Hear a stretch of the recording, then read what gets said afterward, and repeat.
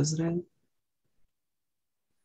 Savādāk uzreiz arī pievērsīsies. Jā, man vēl ir zemenes. Man ir zemenes kaut kā likās arī pie viena. Visiem viena pudela arī kaut kur ir zemē. Nē, bet viena es vēl nedzeršu to beigās.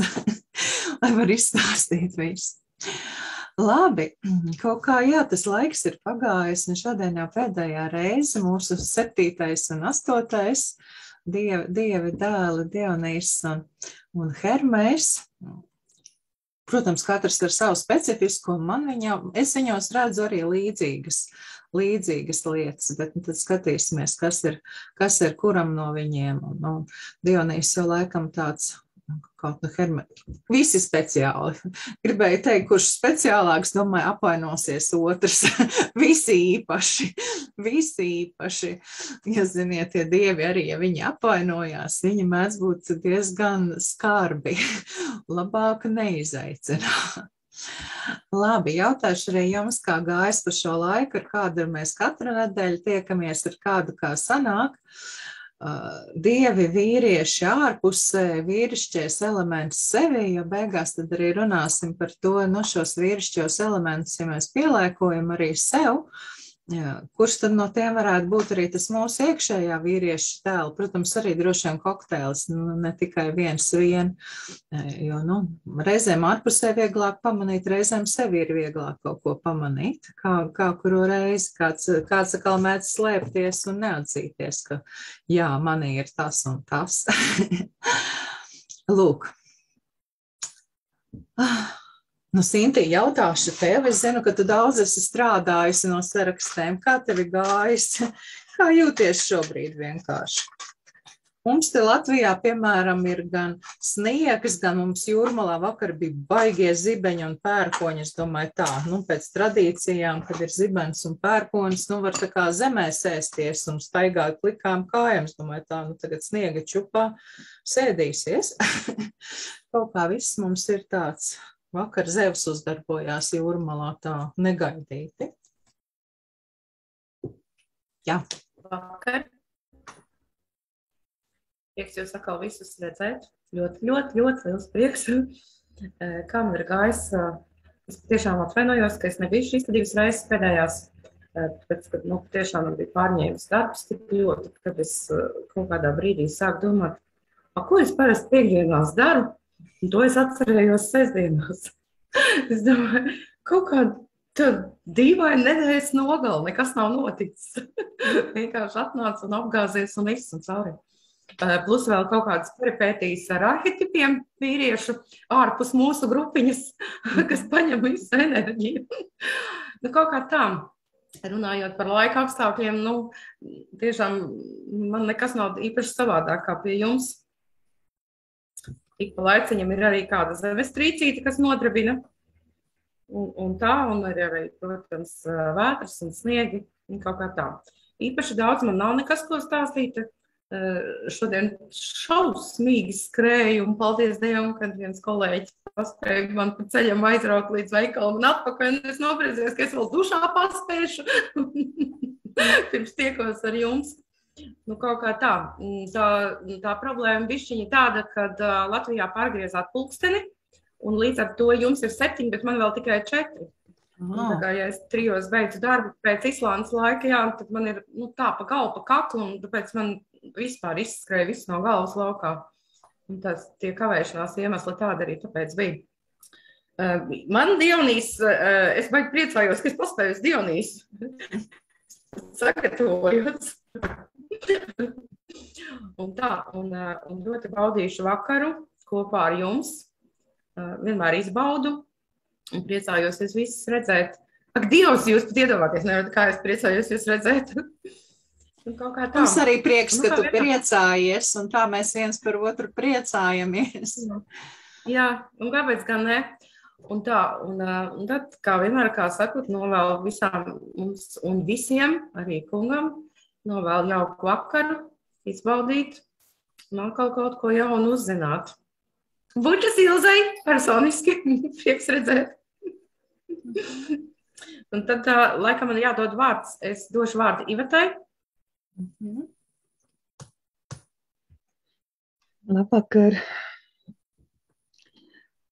Man nedēļa pagājusi ļoti mierīga, bet iepriekšējā nedēļas nogalē, pēc iepriekšējās nodarbības, man arī atnāca tāda atklāsme.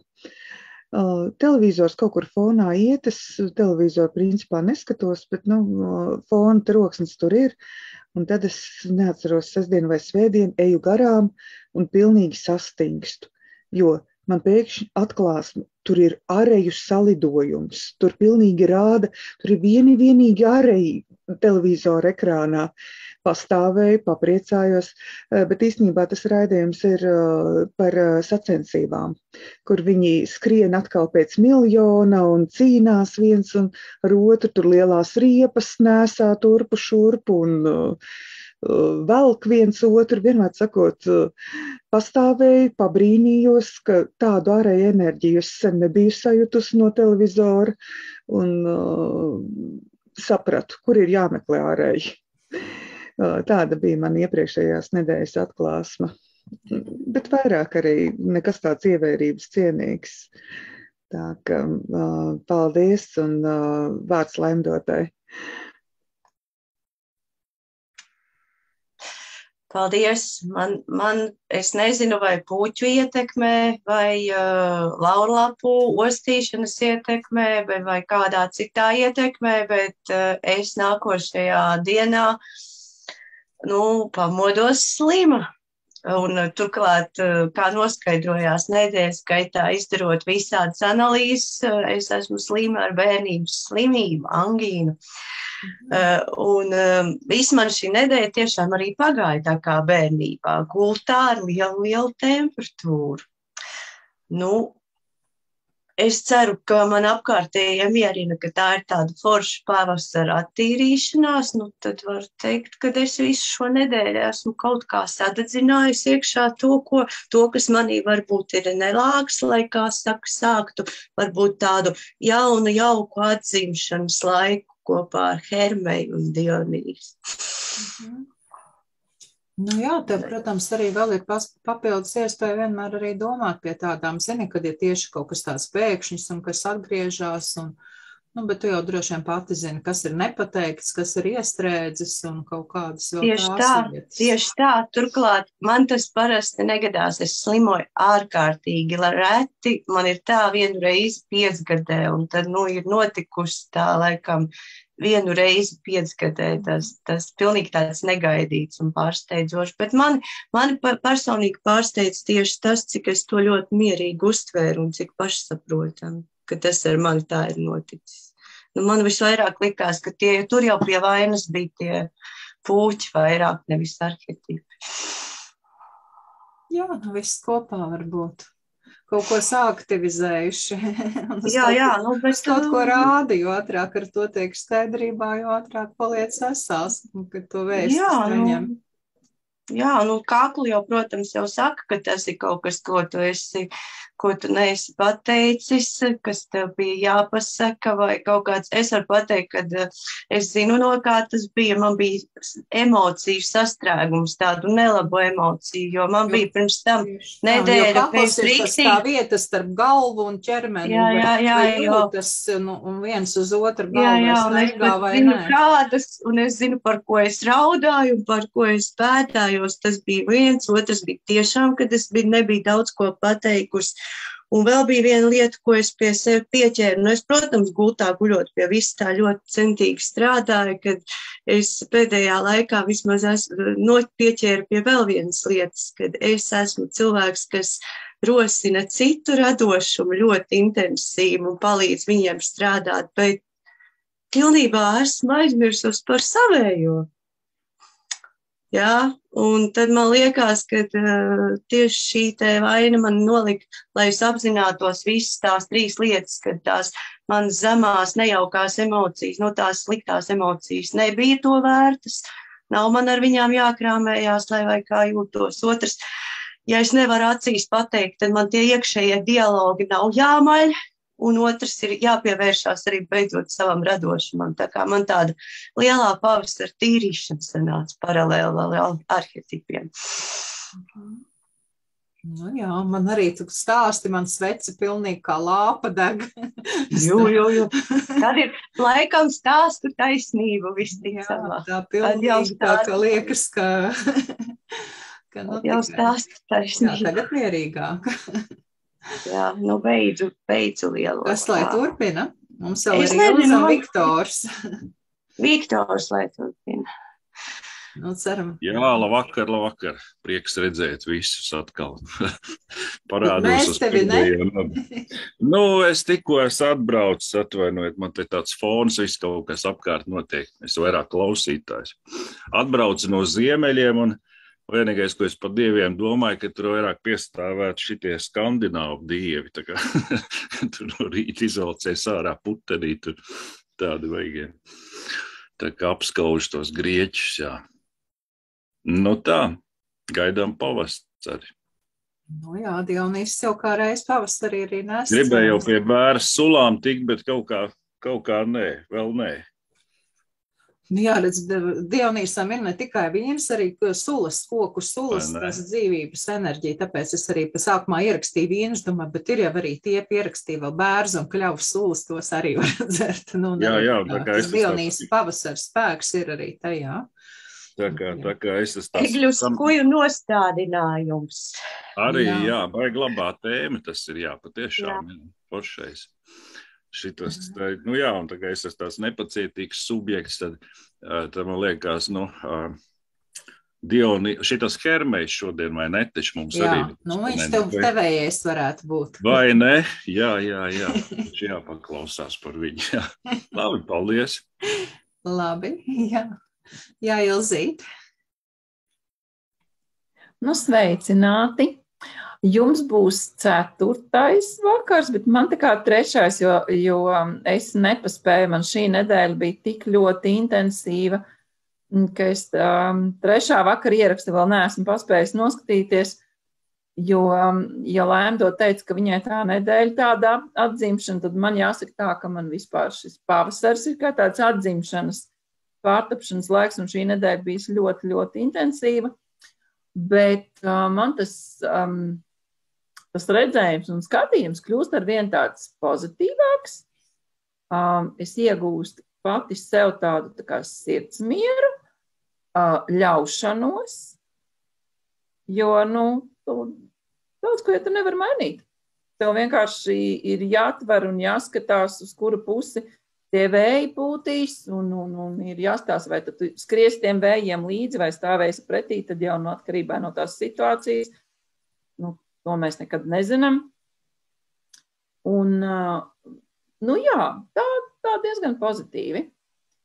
Un uh, ļoti, ļoti gaidu nākamo nedēļu, kaut arī mums aktīvi būs beigušies, bet man es uh, nākamnedēļ sagaidīšu savu lielo dēlu atpakaļ no Norvēģijas, es viņam stāstu par visām šīm lietām un esmu iedegusies. Un, nu, kur mēs te pagājušajā runājām, kad ir cilvēki, ka tu kaut kā esi nokļūst vai nu darba kolektīvā, vai vēl, un tu, tu nemanot, tā kā, ah, šis varētu būt tāds, un tas varētu būt tāds. Tas ir ļoti interesanti. Bet, ja tu pirmie teici ritiņi par to, vai mēs paši redzam tā kā sevī to arī vīrišķo, nu, es vēl, mm, varbūt tajā trešajā bija kaut kas. Varbūt tas bija kaut kas mans tur. Bet, nu, pagaidām, pagaidām, nē. Varbūt šodien.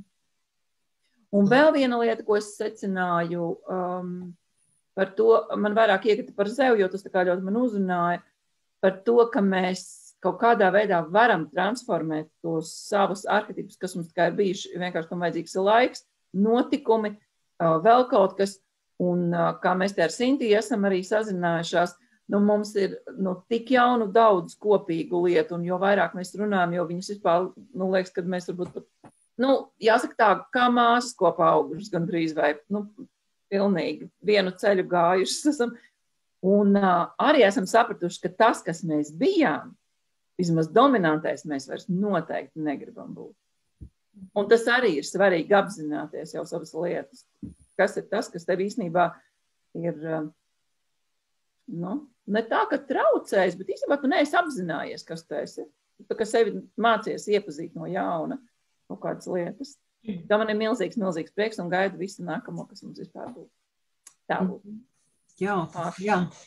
Jā, es arī tieši vakar vienā un uzreiz attavs, gatavs frāzes, tur skatījos vienas, vienas arī filmas, un patīk kāds seriāls, kur viņi tur ņemās un, nu, tā, lai plū, flonā plūst un, un kaut kāds stāsts arī bija tieši izteikti par to, ka vienīgais, ko, nu, tur bija kā, kā paredzēt noziedzniekus, kā kas, kāda bērnība, ka vienīgais, ko mēs droši varam pateikt un zināt eh, viens par, o, par sevi un par otru, cilvēki mainās. Viņi, viņi spēja būt vairs nebūt tas, kas viņi ir bijuši kādreiz, un tas ir tas, ko ir svarīgi atcerēties.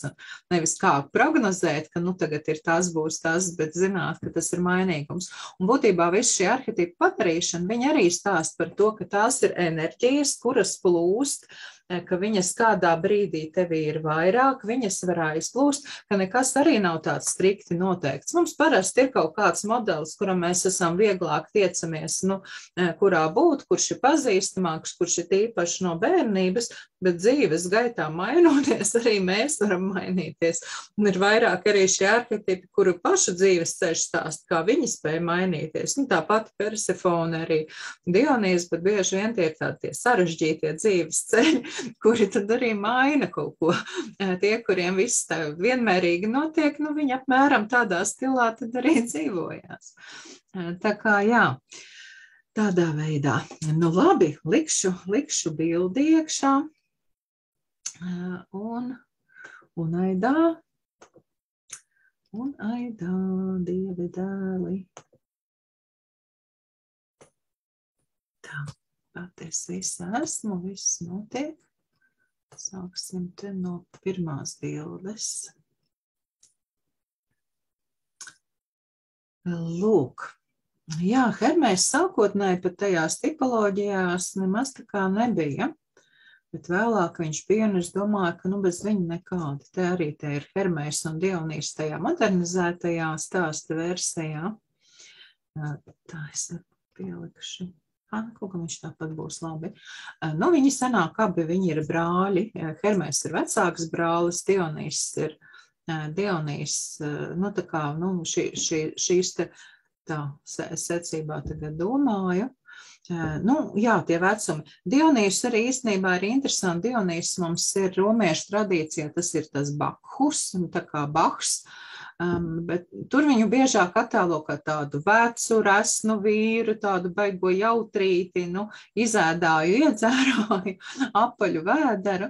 Grieķu tradīcijā viņš parasti ir tāds jauneklis, skaistais jauneklis, un grieķi arī ļoti uzsver to. Šeit mēs arī redzam tajā bildē, kur ir eh, Dionīs, eh, ka tur ir gan tas vīnogulājiem apaugošais eh, šis te zārs un eglis nevelti, jo nu, vēlāk būs par šo viņa, viņa rīku instrumentu, kuram ir tāds čiekurs galā.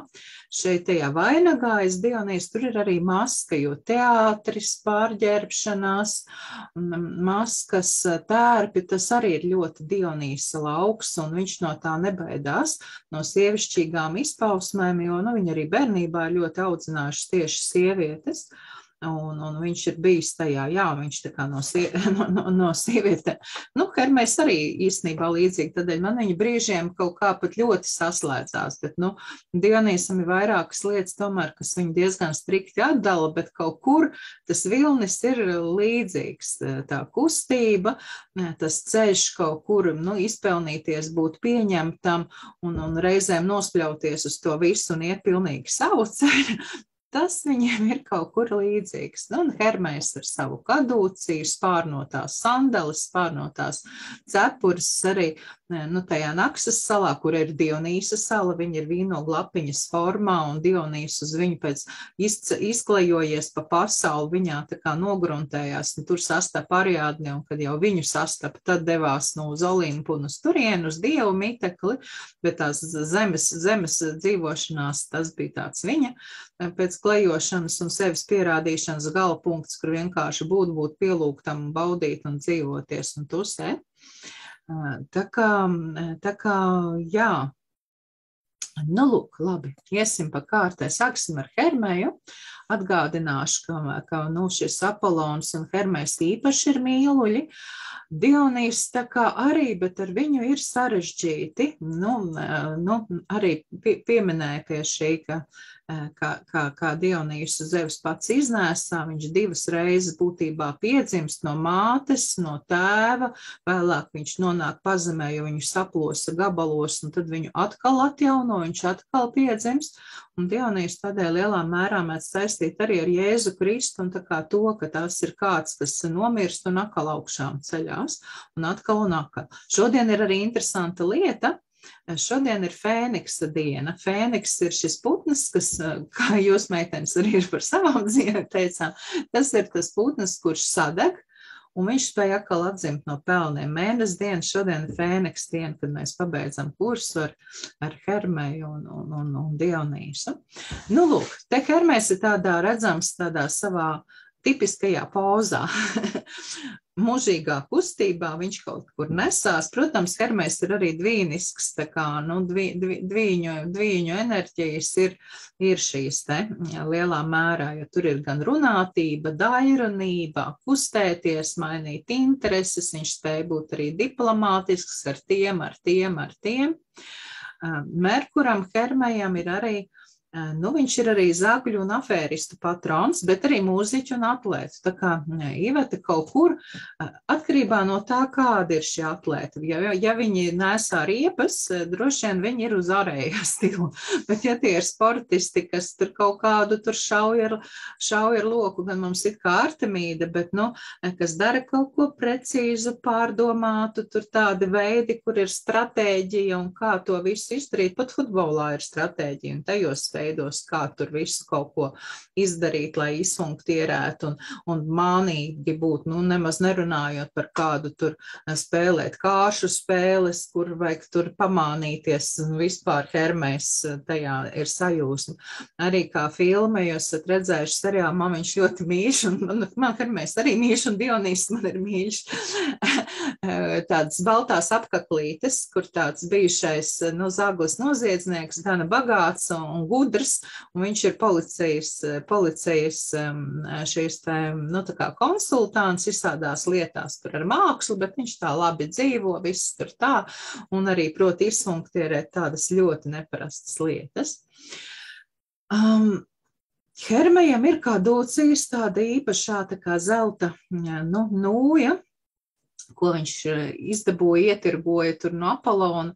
Būtībā viņš ļoti prasmīgi izdarīja, un tādēļ arī Merkurs ir bankām. Mēs viņu varam redzēt. Rīgas biržas ēka ir ar Merkura elementiem, Latvijas banka ir kadūcija un citas lietas. Liepājā ir arī tikai tam Merkuram, Hermejam ir nočiepts kadūcijas, kas ir bieži, un arī skulptūrās dažādās tas kadūcijas ir vai nu nolauzes vai nočiepts. Eh, tas ir šis te, eh, nu, spārnotais zīmes zīzlis ar, ar, ar šīm divām apīšām čūskām. Tas zīzlis ir, viņa stāsts ir, ka viņam viņa iedeva, nu, ka tā kā, lai spētu samierināt, harmonizēt, un, un, un ka Hermēs ir iemetis viņu čūsku murskulī, un red divas čūskas smuki savijās ap viņu. Cits variants par to ir, ka tā ir dzīvības un nāves enerģija, ka viņam ir šī vara pār dzīvību un nāvi, jo Hermēs ir arī dievu vēstnieks, Viņš cilvēkiem nes dievu vēstis, un tās ir sapņos. Es arī pēdējās pāris nedēļas, šonadēļ arī man, man tur ir dievi, nāk grieķu dievi sapņos, un hēra, un kas tik viss vēl, ne? Ka viņš nes cilvēkiem vēstis, un tieši sapņi ir tas parasti veids, kā Hermējs atnes, un arī cilvēku lūkšanas viņš nes tā kā šefiem un, un visiem tiem, tā kā viņš ir tāds starpnieks eh, šajās lietās.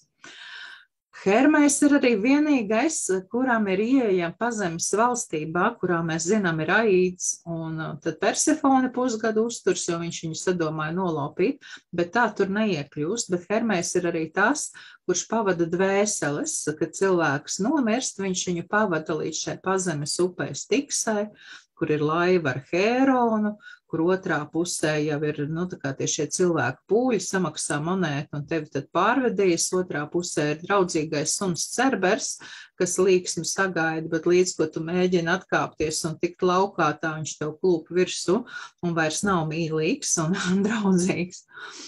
Tā kā jā, viņš tiek arī pie aīda šajā valstībā, un ja kādam ir darīšanas un, un vajag tikt pa, pazemē pie aīda, tad Hermējs ir tas, kas pavada. Viņš pavadīja Orfeju ceļā pie, pie Hermē, viņš ir pavadījis citus, un, nu, pie šīm lietām viņš aiznes vēsti Klauzevs teica, nu, kā, ja kas var mēģināt palīdzēt, bet, nu, kā nu tu domāsi, reku es tev atvedu, un, un, un, un tālāk ir, un arī pavada pēc tam no pazemes valstības atpakaļ tajā.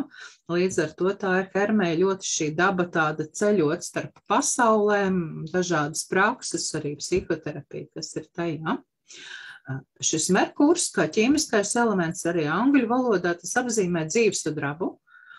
Un dzīvesudrabs droši vien arī ļoti labi raksturo hermeju, nu, kurš ir it kā metāls, bet viņš tajās mazajās lodītēs, tur žings pa grīdu var aizlid, aizplivināties. Un, nu, ja kādam bērnībā termometrs vai nebērnībā ir, ir sašķīdis, un, un tad tie indīgie tvaikli, tāds metāls, lūk, saudabīgais. Un arī alķīmija kā nozare un, un arī sasaiste ar, ar, ar, ar šo te gan eģiptiešu dievu totu un, un alķīmiskām zināšanām, jo tās arī šīs mistiskās lietas arī ir. Nu, un principā ķermējs, tā kā viņš ir gaismas ātrumā ar tām savām sandalēm lidinās, viņš uzrodas un pazūd, un tas attiecas uz daudzām dzīves jomām, attiecībām, viņu pašu, ka viņš te viņš ir, te viņš nav, tā kā viņš nekur eh, īsti nemitinās. Arī sievas viņam nav, viņam bija vairākas mīļotās un, un arī bērni viņam ir, bet sieva un konkrētu māju viņam tā īsti nav. Nu, principā viņš tā kā ir olimpietis, olimpa dievs, bet, nu, viņu tā kā reti kaut kur var sastāvēt, viņš nemitīgi pārvietojās. Lūk. Nu, jā, tā laikam no šīm lietām pateica, un tās diplomātijas prasmes viņš sarunā, aiznes vēstis, tralalā, tā kā šurpu turpu. Ir tās lietas, nu, tā kā katram dievam ir sava specializācija, ir arī šīs lietas, kur mēs arī varam hermeju pieaicināt. Tas ir darbs ar informāciju, kad mums īpaši vajag ātri saprast galveno, uztvert, izsijāt, atrast informāciju un izšķirot. Kad vajag runāt un pārliecināt citus, tas ir arī Hermeja talants, viņš var tur visu kaut ko sarunāt. Tā kā viņš ir arī ar pazemes valstību saistīts un spējām ceļot starp pasaulēm, arī tad, vai nu mēs esam iekšēji ar savu depresiju nomir, nomiruši sevi un nonākuši šajā aīda valstībā un gribam tikt atpakaļ un atzimt kā šis fēniks, kad mums ir kāds, nu, citi zaudējumi arī dzīvē notikuši, Hermējs ir tas, kurš var palīdzēt, nu, attapties, jo, nu, viņam ir šī spēja ceļot starp pasaulēm. Arī šie mūsu dažādi meditatīvie, šamaniskie ceļojumi starp pasaulēm, principā tā arī ir. Nu, ja tā ņemam hermēju, hermēja sfēra, un arī mūsdienās ir tādi hermēja savi ordeņi, kur cilvēki ar šo enerģiju strādā un uzskata, ka tas ir viņu tāds nu, galvenais un visu gudrības un viedumu nesošais. Tā kā hermētistu ordeņi arī Latvijā ir tāda, arī esmu um, uz vienu tusiņu devusies, tur bija brīvdabā, bet viņiem bija ļoti daudz dionīsiskā elementa. Nu, Sūfija praksēs ir arī e, daudz lietu alkoholu, lai prāts atslēgtos, un tad tev nāks īstās atklāsmes. Nu, kaut kā tā kā tas ielika tā uz vairākām dienām, sapratu, man tā kā īsti šis veids varbūt tā, bet bija lietas, kas tur bija interesantas bet ne tik ļoti, lai baigi būtu. Hermei var paaicināt arī, ka tevi kāds nodarīs pāri, un tevi kāds ierieps un sačakarējis, ja tevi doma, nu, tā kā pretīm tā izdarīt. Jo, nu, to viņš arī labi prot darīt. Nu, protams, mēs vienmēr domāt, bet karma vai kā, bet, ja, ja vajag sodīt un tevi darīšu pāri, tīpaši, ja ir bijuši kādi alkatīgie, nu, alkatīgums nepatīk hermējam jau no agras bērnības, viņš par to pat ļoti, ļoti sola soda. Hermē mēs varam aicināt, un viņš ir izteikti vienmēr pielūgts arī ceļojot, un arī Grieķijā šie hermēja stābi arī ceļa dažādās vietās, un, un hermēja piel, pielūgšana gan ceļojumos, gan, kad vajag, vajag mainīt dzīves vietu, un arī, nu, ja mums ir jauni projekti, jauna darba vieta, jauns kaut kas tas, ja mēs pārceļojam no vienas pasaules savā ziņā uz otru, arī tajā visā mēs varam aicināt Hermeju un, un šo enerģiju, lai, lai viņi mums palūdz, palīdz, palūdz, palūdz lai palīdz. Nu, lūk, šeit Hermēs ir divās, divās bildēs no dažādiem, bet kaut kur man likās, viņi tā sadara kopā jo biežāk droši vien ķermeņi var redzēt no dibena, jo viņš tev pas, pal, palido garām kā bulta, un ja viņš ir gabalā uz to mirkli, tu viņu tikai kamēr attopies redzi. Reizēm ķermeņs mēdz būt arī noguris. E, ir arī situācijas, kad viņam, piemēram, zevs palīdzēja. Šeit vienkārši ir šis ērglis, kad, kad, kad, kad, kad e, arī uh, Hermējs tur iekāroja, iekāroja vienu no dievietēm un nezināja, kā, nu tad Zevs viņam palīdzēja izdomāt un iedeva, aizdeva ērgli, kurš tur varēja tur lietas sabīdīt, lai viņš tiktu klāt pie kārotā, bet es domāju, Hermēs var būt arī paguris. Jā, un tur uz tās salas, uz Naksas salā, nu, es kā jau visu tur cītīgi jau pētu, domās, es jau tur divus mēnešus dzīvoju. Viņiem ir tāda firma, nu, sandāls grieķi ir ļoti pazīstams, tāda pagonista, nu, kas ir uz vietas, ādas sandāls un, un dažādi tie apavi bezgalīgi daudzos veidos. Viņiem ir arī Hermes, nu, tā kā šīs te sērija, kur ir tieši pat arī sandāls, ir ar spārniņiem. Es uz viņām tā skatījos, domāju, nu, protams, ja tā iet, būtu smieklīgi, bet kaut kur iekšēji liekas baigi forši. Nu, tas, vai ne? Ilzi saka, kāpēc ne, es tā saprotu. Nu, lūk, es, nu, īsāk sakot, es papētīšu, piemērīšu, kas no tā viss ir. Varbūt atbraukšu sandalēs ar spārniņiem no turienes. Tur bija arī hermes vienkārši pēc formas, tā kā tādas. Principā man arī var parādīt, man ir pat divas. Man ir arī tā, ka man ir slab, mana mīļākā smaržu firma arī ir Hermes. Viņa nav nebūtu lētākā. Bet vienkārši paņēmu, iedomājos tā impulsīvi. Te ir arī tas eh, Twilight, un šī man ļoti tas Hermes absolūta, kā, nu, ir arī nosaukums arī pat kā, nu, ja man, manā izjūta arī smaržas lielā mērā ir par to, viņas tevi pavada, viņas tevi iet pa priekšu, un aiz tevis kaut kur vēl paliek tas mākonis, un tā noskaņa, ko tu radi eh, sevi ar smaržām, manā uztverē, tas ir arī ļoti, ļoti par Hermē enerģiju, nu, vispār šis te šiu, šiu, arī, taču mēs ar aromēļām, ja mēs viņas ostam kārtīgi var ielikt ielikt to vatīti arī degunā. Mēs tur tagad bija kāda aizvakar trešdienas sakarā Rīgā, man bija klātienē nodarbība neirografika, un mēs bijām tādu pavasara dūlējiem putniem līgstu. Nu, Hermēs jau arī ar spārniņiem no putnu sugas. Mēs tur arī ostījām, un tur bija jasmīni, un, un, un, un, un, un vēl daži, nu, tā kā nav ceriņi, nu, nav pavasara augiem un eļas, nu, kuram kas patīk, un, ja tieliec viņu vēl degunā, nu, īstās tīrās dabīgās eļas, ne ķīmiskās, viņš ļoti ar smadzenēm tev iekšējo stāvokli maina, un tu vari ļoti daudz ko izdzīvot tādā uh, ātrā tempā, iet ar viņām padzīvot. Tā kā tā. Kā tā. Nu, lūk, iesim tālāk uz Hermeju. Hermēju. Hermēja bērnība, viņam arī viņa, viņa māte ir māja no tādām, varētu teikt, diev, dievība no titanīdām, un, kas tur zemi, un vēlāk viņu arī audzina nimfas, viņš tur dzīvo alā, bet viņš ir tāds bērns, kas ļoti ātri attīstās. Jau Apolons ātri attīsties, bet šis vēl ātrāk. Viņu tur atstāja šūpulītī, nu, ietītu, ietītu visu šūpoties, un uz mirkli, kad attiet, viņam ātri palika garlaicīgi, un viņš devās, devās tāds zīdainis apkārt, klīst pa celiņiem un spētīt, kas ir. Viņš nonāca vietā, kur ieraudzīja bezgalas skaistas tādas baltās govis ar zelta uh, ragiem. Tās bija principā Apolons tajā laikā bija nu, sodīts viņš pie šī ķēniņa um, uz āburtu. Strādāja par aitu gan tos astoņus gadus, bet nu, viņš arī bija kaut kur aizklīdis vai no nu kādas sievietes mēģinādams pavest, vai tajā laikā viņam tur bija arī jauneklis ģimenēs, bezgala daļais, kas viņu valdzināja, un lai cik smieklīgi nebūtu, ģimene un ģimenēs ir kā reiz no tāda homoseksuālā stāsta šie, šie, vā, šie vārdi, nu, nosaukumi un, un vārdu saknes. Nu, lūk, viņš ieraudzīja tās govis, viņš saprata, tuvumā neviens nebija. Viņš viņas paņēma, savāca kā, un līdz viņas bija 12 govis. Tad viņš atpakaļ ceļā sastapa, nu, tā tā, man liekas, šī ir epizode, kas pastāsta patiesībā visu galveno, kas, jums, kas mums jāzina par ķermeni. devoties un dzenot tās govis, viņš sastapa kādu zemnieku, nu jau diezgan tuvu tam kalnam, kurā viņš tur dzīvoja, kurien viņš, viņam bija plāniņš viņus aizdzīt.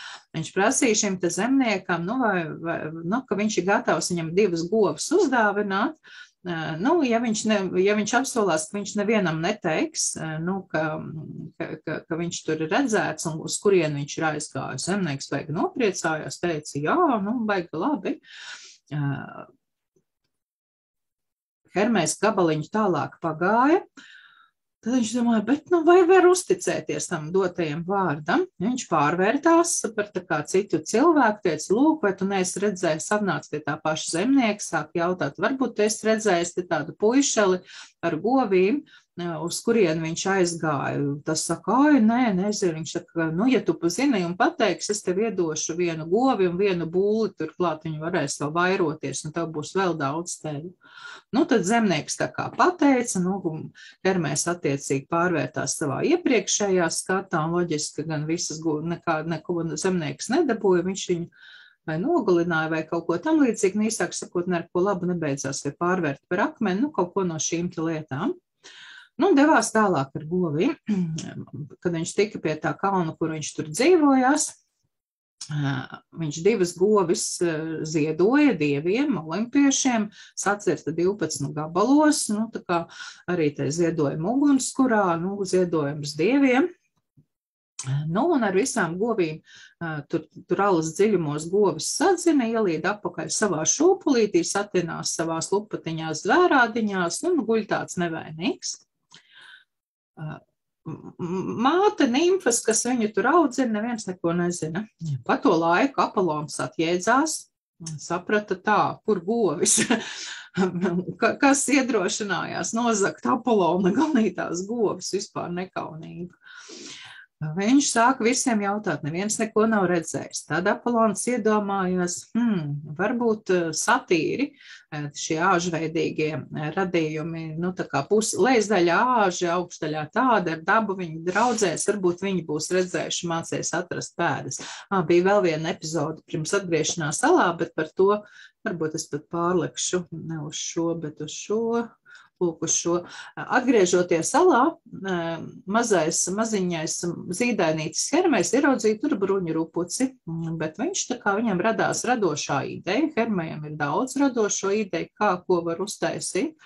Viņš to bruņu rupuci nožmiedzīs, kas arī paņēma viņa, viņa šo te, nu, čaumalu, čaulu, pielika klāt ragus, tad vēl kaut kādas šīs te nu, stiegras no, no, no ziedotās, ziedotām kādām telēm no viņu, no viņu miesas un uztaisīja liru mūzikas instrumentu. Viņš treku ir redzams, viņš tiešām arī ir ar šo te bruņurupuci un ka tur skan šī skaņa.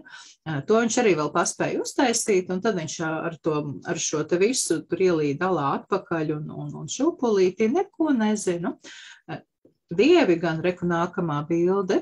Visi olimpieši principā visu to redzēja. Te jau ir redzams, lejā ir govis un, un imfas, un te ir jau Apolons saticies ar Hermē. Bet, nu, sākumā Apolons dodas meklēt, sūta satīrus. Satīri tā kā arī meklē un jau būtu pagājuši garām, bet te tur tas mazais, mazais hermais sāk spēlēt liru, nu viņi tādu skaņu nebija dzirdējuši nekad, un, un viņi uz to liru skaņu pavilkās, tā viņi vispār tur atrada. Un, jā, nu tā kā atrada, jā, kad ieradās Apolons, hermēs teica, da tu ko, tu neredzi, es esmu mazs zīdainis, mazs bērns, kādas govis, viņu zakšana, vešana, es vispār neko tādu nezinu. Un tā ir Hermēja šī īpašība, viņš var acīs skatīdamies visu, ko melot, stāstīt un izlikties um, ļoti viegli un dabiski, un, un tas viņam arī sagādā pat zināmu prieku. Un es taču esmu maziņš un tāds, un es neko nevaru. Nu, Apolons saprata, ka kaut kas nav. Viņš paņēma šito sīko stiepu līdzi uz Olimpu pie Zeva, pateikt, re, nu, tā kā, kas, kas, tā kā, kas tā kā notiek, un, un, un, un viņš tā izdarīja. Viņam tā kā bija vienlaikus jautri, bet, nu, ka nevar tā atstāt kārtībai jābūt, un Zevam ir jāzina, kas te vispār notiek. Nu, kad viņi nonāca Olimpā, Hermērs teica, o jā, bet es taču visu izdarīju, reko es ziedoju visiem 12 Olimpa dieviem. Sev saka, paga, paga, Olimpā ir 11 dievu. Nu, principā. Hermēs jau sev rezervēja vietu, viņš ir 12. Nu, tā kā viss normāli, viņš par sevi parūpējās. Viņš negaida, kad viņu uzaicinās, kad viņam būs kaut kāds tāds, bet nu, viņš saprot, ka viņš tāds jaunākais brālis, ka viņam vajag kaut kā drusku izpelnīties, bet vienlaikus arī, nu, ka nekaunīgums ir tā kā otrā laime, tas ir arī Hermēja devīze.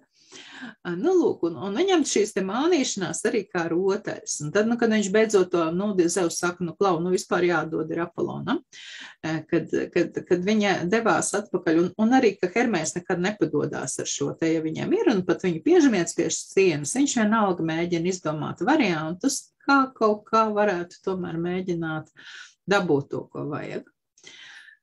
Nu, lūk, un šeit viņš arī viņa aiziet pie tām govīm. Nu, divas govis ja, jau tur nav, ka, kas tur vēl, un Napoleons sāk skaitīt govis. Un te Hermēs sāka spēlēt liru.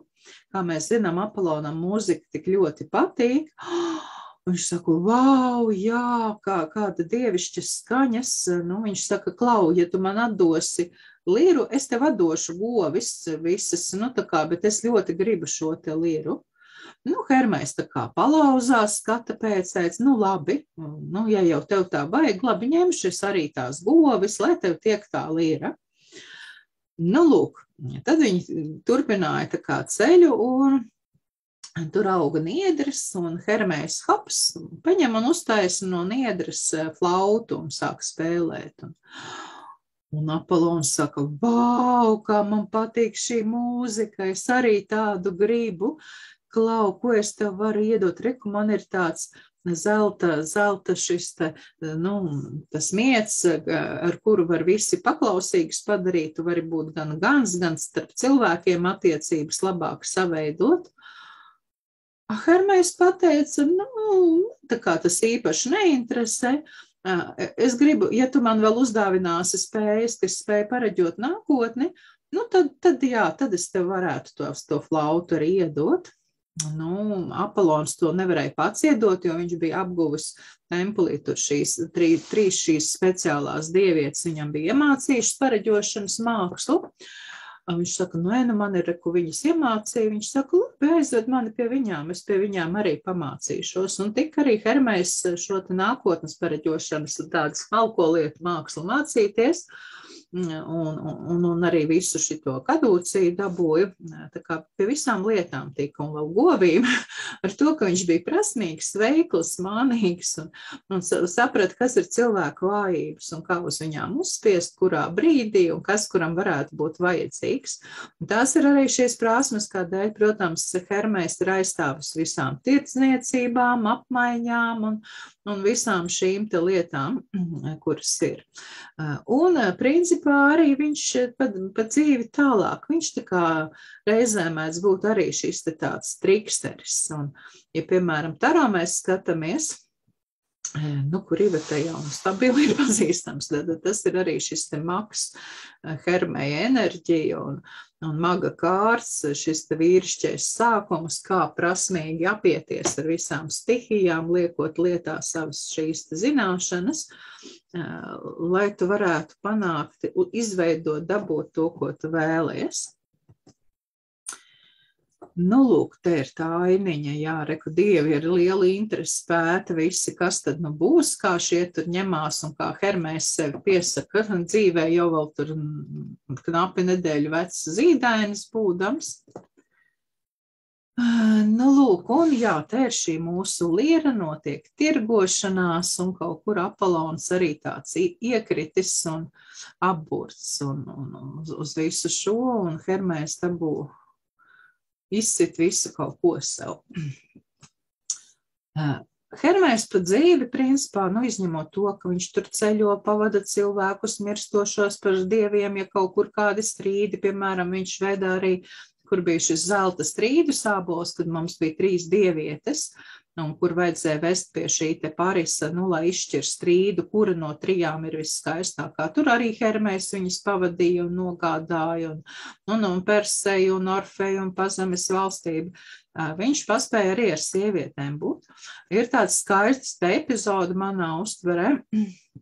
Pagājušā reizē mēs runājam par Heifaistu, tādu nelaimīgo drūmo, bet prasmīgu amatnieku, kurš centās pieķert savu sievu Afrodīti, ka viņa salaiž ar arēju, un to bronza zelta stīklā smalkajā noķert, un ja visi citi dievi smējās, Hermējs bija teicis, un Afrodīti to labi dzirdēja, mājiņš saprat, viņš teica, vai es labprāt atrastos šobrīd arēju vietā nu, kad visi pārējie izsmēja un ka viņus jādzen prom no Olimpa.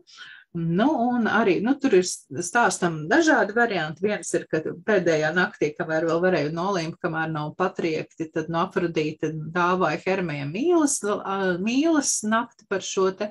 Jo te mēs arī attēlās redzam, ši, šis te vertikālais ir ar Afrodīti, kur viņš rāda to spoguli, viņš protē sievietei dot to sajūtu, cik tu esi skaista un brīnišķīga, un viņš viņai parāda to, lai viņa ieraudzītu viņa acīs sevi tādu, kādu viņa viņi grib redzēt. Un, un, un, un tā arī ir viena no tādām mīlestības formulām, ka, um, nu, kā, ka mīlestība ir nu, tas, ko tu ieraugi otrā acīs, ka tu mīli to sevi, kādu tu redzi otras cilvēka acīs. Nu, te viņš arī, prot, ir, kur lejā īrisi, kas aug pie Stiksas upes, pie pazemes upes, bet te nu viņš viņai ļauj būt šādai un par to iegūt. Tur viņam bija arī vesels stāsts ar Atēnu, ar ko viņi tā kā draugi, tā kā kā no Atēna, tā kā jaunava, bet, nu, kur viņam arī kaut kā gribējās būt. Eh, Hermējam ir arī bērni, ir Afrodīti, tur ir hermafrodīts tāds arī, kur, kur, kur bija, bija jauneklis, un tad viņš savienoja ar viņu mīļoto mm, nimfu, kuram bez viņa dzīvot nevarēja. Un, un nu, arī tā kā rabu, rabu veidu dzimumu orgāni. Ir arī pāns, kurš ir pa pusē no satīriem līdzīgais un tāds mežonīgais, un panikas lēkmes ir no šī pāna vārda. Panika, panika pēc grieķu skaitījās, ka tas ir tāds dienas vidus klusums, un, un kad sāk nākt virsū panika, un tāds spiedīgais karstums un viss, un ka tas ir panikas laiks, un kas satiek pānu, tie ir panikā. Un, un tā tālāk, protams, ar zemes sievietēm tur dažādām romānu viņam bija, un, un kas tik viss viņam, kas tik viss viņam nav bijis, bet nu, lielākoties jā, viņam ir darbs, viņam ir viņa darbs. Kā tad dzīvē izpaužās Hermēs vīrietis? Viņš ir klejotājs, viņš ir mobils. Nevelti mums Latvijā, jūs zināt, ir motociklu klubs, Hermēs, maksimāli atbilstoši tēmai, perfekti atbilstība arī nosaukums un viss. Tie ir arī vīrieši, kas agri attīstās, agri kļūst patstāvīgi. Jaunībā viņi var pārbaudīt robežas, piemēram, pār, pamest skolu, Viņiem var patikt darboties kaut kādās gan inovāciju firmās, kaut ko nebijuši radīt, varbūt tur rock grupā kādā tur protestēt un parādīt sevi un, un izpausties. varbūt arī profesionāls sports. Nu, ir jāņem vērā, ka, ja viņam nebūs šo noturīgo interesi, ja viņš tur nemitīgi mētāsies no viena uz otru, šodien palkoju, rīt tur, nezinu, skrienu maratonu, parīt vēl kaut ko citu, nu, ka ne, nu, viņš neiegūst meistarību. Hermējiem ir liela, liela tieksme un iespēja arī nonākt kriminālā karjerā un arī veikt dažādus, nu, arī principā pa dzīvi viņi ļoti viegli tā kā morāla ētiskās normas tā kā pārāk neiesprings, ka tīpaši, ja kāds ir bagāts un viņu var piečakarēt, tad viņi labprāt to arī izdarīs bez sirdsapziņas pārmetumiem. Bet vēlāk runāsim, Hermēs var būt arī dāsns, un ja viņam palūdz, un ja viņam vajag, viņš visu ko iedod un dāvina arī labprāt. Nu, principā viņš ir tāds arī tāds plašs profila speciālists, brīvmākslinieks, ceļotājs, orators, vienmēr steidzīgs. Viņš spēj izdarīt neiespējamo, viņam ir labs psihoterapeita potenciāls, jo nu, šī ceļošana starp dažādām pasaulēm, kustībā un, un, un, un, un tādā, tā kā ir šie aspekti. Um, par sievietēm un par viņa to briedumu. Nu, viņam tā šis nav, šis ir vecs, šis ir man iekupējies ne tas, tā kā drusiņi izbrīnījos, ka kaut kas ne par hermēju. Liekas, tas laiks jāatceras vēlāk izmests vienkārši. Tā es jau no prezentācija vecēju pa virsu. nu, lūk, hermējas sievietes. Viņš ir tas, kas var te parādīties, viņš ir kaislīgs, viņa jūtas, jā, viņš ir tāds, un sievietes sasapņojas, un tad viņš ir pazust ilgstoši, un tad viņš var atkal uzrasties, it kā nekas nav bijis.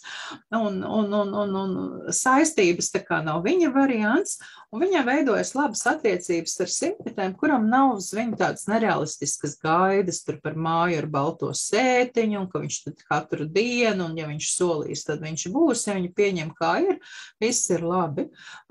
Viņam ir bagāta pieredze un seksā eksperimentē, un viņam patīk atklāt ar vien jaunas sievietes, nu, jo viņas ir dažādas, kā jaunas teritorijas. Te ir tas, ka nevis iegūt, kā zevam, piemēram, o, vēl vienu, ja ieguvu, man ir vēl viens ķeksītis, bet tas ir interesanti, o, rekā ir šeit. Jā, Hermēs var būt izmantotājs, un viņš to sauc, cik viņš ir pievilcīgs un jauks un runātīgs, un kā viņš visiem pa prātam pasaka, viņš var arī izmantot arī materiālu labumu gūšanai. Viņš var melot un stāstīt to, ko no viņa grib dzirdēt, jo viņš nojauš, nu, ko var gribēt dzirdēt un ko nē, viņam tas liekas, nu, bet taču cilvēkam šādi, kāpēc, lai, ka samelot tā kā ļoti ir ok. Kad viņš ir tēvs, viņš būs tas tēvs, kas, var, kas neprot novilkt robežas un kurš, kurš nu, tēva loma nav īsti viņa šis zirdziņš. Bērnus uztaisīt, jā, jaukus, jā, atnākt aplidot, jā. Te par šo viņa arī dāsnumu, ka viņš var būt arī palīgs divas epizodes vienā, kur persēs varonis, kur viņam vajadzēja ātri nokļūt, un tas bija vienīgais iespējams. Viņš savus sandalas pat atdeva, aizdeva persēm, lai viņš var izdarīt nu, tos varoņu darbus un to, kas viņam ir jādara, ja viņu palūdz un pielūdz, viņš dara. Un te ir krūze, uz kuras tā īpaši nevar saprast, bet viņa ir sena un grieķu krūze, kur ir stāsts par Dionīsu pie kura mēs pavisam drīz nonāksim, kur viņš palīdzēja gan Dionīsam, nu, tā kā vispār piedzimt, rasties, viņam bija ideja, ko, ko vispār iesākt šādā situācijā, e, kad neiznēsāts bērns, nu, tā kā ne, ir, ir piedzimis, bet viņš nespēja vēl dzīvot, tad viņš, viņš iešuva šo Dionīsu tēva zeva gurnā, lai viņu iznēsā un palīdzēja, kad bija pienācis laiks nākt pasaulē, un vēlāk arī, kad Dionīsam tur būs problēmas, viņš viņu nogādāja pie nākamajiem vecākiem un tā kā rūpējās arī. Tā kā, ja tā epizodiski viņš par bērniem un ja viņam kaut ko palūdz tā epizodiski, viņš ļoti labi var rūpēties, ja tas nav vien visu laiku nemitīgi, bet jau uz kaut kādu brīdi, uz kādu posmu, viņš var būt brīnišķīgs, palīgs un, un, un atbalsts un izdoms bagāts. Ja par Hermēja kultu, tad viņš ir pielūgts jau ļoti sen un aktīvi, un arī, kad varbūt kaut kādi grieķu dievi vairs ne, ne, ne ļoti, ir šie ceļa rādītāji, ceļa stabi, viens no tiem, re, kur šeit ir redzams senais, uz kur ir attēlots eh, Hermējs, nu, tā kā vietas, kur ir ceļam.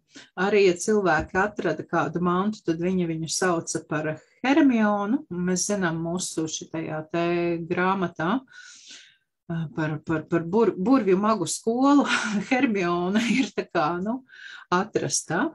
Arī ir brīdis, kad Hermēja uzskatīja, re, ka viņš tepat kaut kur tūmā ir. Mums parasti ir cilvēki bariņā un daudz runā piepieši apkust. Mums saka, o, laikam, milicis piedzima. Grieķi teica, kad tāds piepieši klusums iestāja salmos, ir Hermējs apciemojis.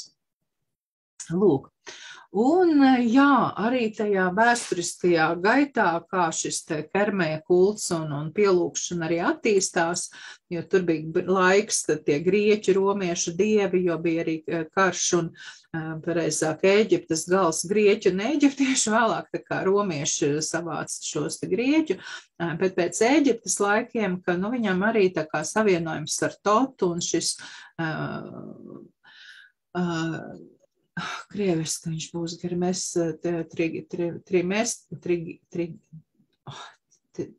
trīskāršais, īsāk sakot, trīskārt svērtīgais alķīmiķa patrons un ka viņš tiek pielūdzis kā tāds analītiskās pār, psiholoģijas pārstāvim Karlam Gustavam Jungam ir arī īpaša grāmata, kas ir Merkūra gars, kur viņš stāsta par šo, nu kā jau Jungs nebūtu neviegli lasās, bet, bet par šo, kur viņš stāsta par psiholoģijas un alķīmijas saikni un kā tas ir kopīgs, un viņš to arī pamato ar šo te Hermēja, Hermēja arhetipu, tā kā ja kādam ir uzņēmība un gatavība tā kaut ko sarežģītāku var, var palasīt arī par to, nu, tādās filozofiski, tādā dziļi smalkajā līmenī. Nu, lūk, kā Hermēja dzīve attīstās tālāk, Ja viņam, ja viņš ir, ja viņam varbūt varianti, ja viņam ir labi, gan labi apmaksāts darbs, ienākumi, nu darbs tā kā nav ļoti viņa, bet ienākumi viņam ir vajadzīgi. Uh, nu, viņš tur var kaut ko konsultēt, kaut ko tur tādu darīt, bet nu, viņš tā kā nestrādās tur smagu, smagu darbu, maiņās vai kaut ko, nu, tā kā pēc iespējas, ja nu galīgi nekā uz kaut kādu brīdi var. Nu, lūk, tā, jāpacerās. Ja viņam ir šie ienākumi, uh, Arī vecums viņam ir patīkams, pusmošs un vecums dzīve vēl jo interesantāk, viņš var turpināt darīt visu to, kas viņam patīk. Ja viņam ir tas viņa ceļš, kur ir daudz šo te mazo mm, puskriminālo vai kriminālo darījumu, variants ir, ka viņš var būt arī bombs un klaidonis, un viņam savā ziņā tas arī pat patīk. Viņš var padzīvoties pa psihenēm, kaut kur patvērtnes, um, patvērsmes paēst, pagulēt, iet tālāk. Viņš var būt arī tas tēls mīlnieks, kas aizmūk, tā kā bija, un no rīta viņš ir pazudis, varbūt arī ar kādu naudas summu vai rotas lietu. te bija, te nav. Un arī tāds tēvs, kurš ne, nezina, neprot, neprasmīgs tēvs, Arī tas var būt hermēja tālākais dzīves ceļš, jo nu, tā tāda ikdienas dzīve ar tiem pienākumiem, sadzīve un rutīnu, nu, viņu diezgan beidz nost. Ko viņš var darīt, kāds ir tas augšanas veids, ja cilvēks ir ļoti izteikts hermēs? Viņš var sevi mēģināt savienoties, pieaicināt, arī papildināt tādu tīro hermēju ar Apolonu un Zeva aspektiem. Viņš var arī atrast, jo viņam pat dzīvi nav bijuši tādi beigie tēvi, kas viņu vadītu, viņam tur ir bijušas sievietes un nimfas, kas viņu tur audzina, bet, nu, tādu atrast tādu kārtīgu vīrieti tēvu. Viņam būtu labi arī atrast savu afrodīti un, un mīlēt sievieti un, un, un caur šo augt. Jo, nu, īstam hermēm arī vajag, lai sievieti grūti iegūt. Ja viss, viņai viss patīk, viņa visu grib, viņam ātri apniek un vai kaut ko nākamo. Viņš var mēģināt pamodināt arī sevi Dionīs un iet dziļumā gan ar kaisli, gan darbu ar ēnām un ar šo te, un arī attīstīt, jo viņam jau tā ir šī tieksme uz garīgo, sakrālām atklāsmēm, zināšanām, tur vai maģiskām, vai garīgi reliģiskām, nu ļoti plašā spektrā tas ir tūs un vilien, un ka tas arī ir viņa augšanas ceļš, nu lai viņš galīgi nenobomžotos un nekļūtu par kaut kādu galīgi tādu, tas ir arī ceļš, kā viņš var var augt un, un justies nu, labi. Tā vai man ir Dionīs vai ir, jau ir Dionīs. Lūk, apmēram šādi. Nobeigšu šobrīd šārēt par Hermeju. Ceru, ka jūs vēl pie dzīvības neesat laimīgi aizmiguši ar vīna glāzi rokā. Vismaz viena ilzīte ir. ja var arī pārējie kaut kā atrādīties. Ja vēl nav tādā laimīgā snaudā laidušies, labprāt aprunātos par Hermeju. Kāds jums viņš likās, vai viņu pazīstat sevi vai citur? Esmu, neesmu vēl aizmigusi. Tas priecē. Jo, ļoti intensīvi cenšos ēst, jo neesmu paspējis paēst vēl vakariņas pēc darba, tāpēc aizkadrā. Pārdomas par Hermēju. Mm, divos savos paziņās atpazinu Hermēju. Nu, tik ļoti tipiski. Nevaru pateikt, kā viņiem tur ar tiem bērniem, ar to bērnu audzināšanu, bet, nu, jā, divos atradu. Uh, klausoties vispār šo visu, eh, man arī jāsaka, kā Ilzīte teica, es trešo nedabūju noklausīties, vienkārši vēl neesmu to izdarījis. Otro es noskatījos noklausīties, bet trešo nē. Eh, bet es, eh, man tās domas, tad, kad tu sāki stāstīt par Hermei, tad man bija vienas domas, un tagad jau man ir atkal pilnīgi citas domas. Bet tās domas ir tādas par, par mūsu, kā mēs Latvijā veidojam attiecības starp partneriem. Kā veidojās manas attiecības šeit, šobrīd ar, ar islandieti? Un tas ir, tas ir tik, ļoti, tik ļoti dažādi īstenībā. Nevienam nav jāpiekrīt tam, ko es tagad teikšu, un, un, un tā vienkārši, kā es pie sevis domāju, ka mēs jau pašos pirmsākumos veidojam partneru attiecības, mēs veidojam pilnīgi nepareizi. Man tā šķiet ka man liekas, ka es pieņemsim skatos, kā šobrīd partners izturās pret mani šeit, nu, pret mani. Un kā veidojās tās mūsu attiecības. Un es teikšu tā, ka mēs esam ļoti, ļoti prasīgas sievietes. Mēs ļoti daudz gribam no vīriešiem. Uh, mēs dzīvojam pēc stereotipiem. Un tad nav tikai tāda stereotipa, ka es, sievietē, man ir jādara tas, un tev, vīrietim, ir jādara tas. Mēs vispār dzīvojam pēc kaut kādiem stereotipiem. Es nezinu, pēc kādiem, bet tas viss ir galīgi garām, man tas šķiet. Nu, es negribu noliegt to mūsu kultūru un to mūsu senču, to, to ko nu, mums tie senči tur ir mācījuši. Bet tas ir vienkārši, ko es klausos no tā, ko tu mums stāsti un ko es redzu šeit. Arī šajās attiecībās, kas man šobrīd šeit veidojās, un viņas jau pāriet atkal kaut kādā citā, citā solī, kaut kādā brīdī es sāku vienkārši niķoties. Nu, bet, nu, kā, nu, bet, nu, kā, nu, bet vai tā tā, un vai tā šitā, nu, kā, nu, bet tev tā kā visu laiku jābūt ar mani, un tā, nē, nu, nav. Un, un īstenībā tā, kad um, es pieņemsim, runājot par šīm attiecībām, es varu pateikt tā, ka uh, es netieku regulāri kontrolēta. Bet mājās es tiku kontrolēta par visu, ar ko es satiekos, ar ko es sarunājos. Tāda šitā draudzene tev nebūs, jo viņai vārds ir Ilze.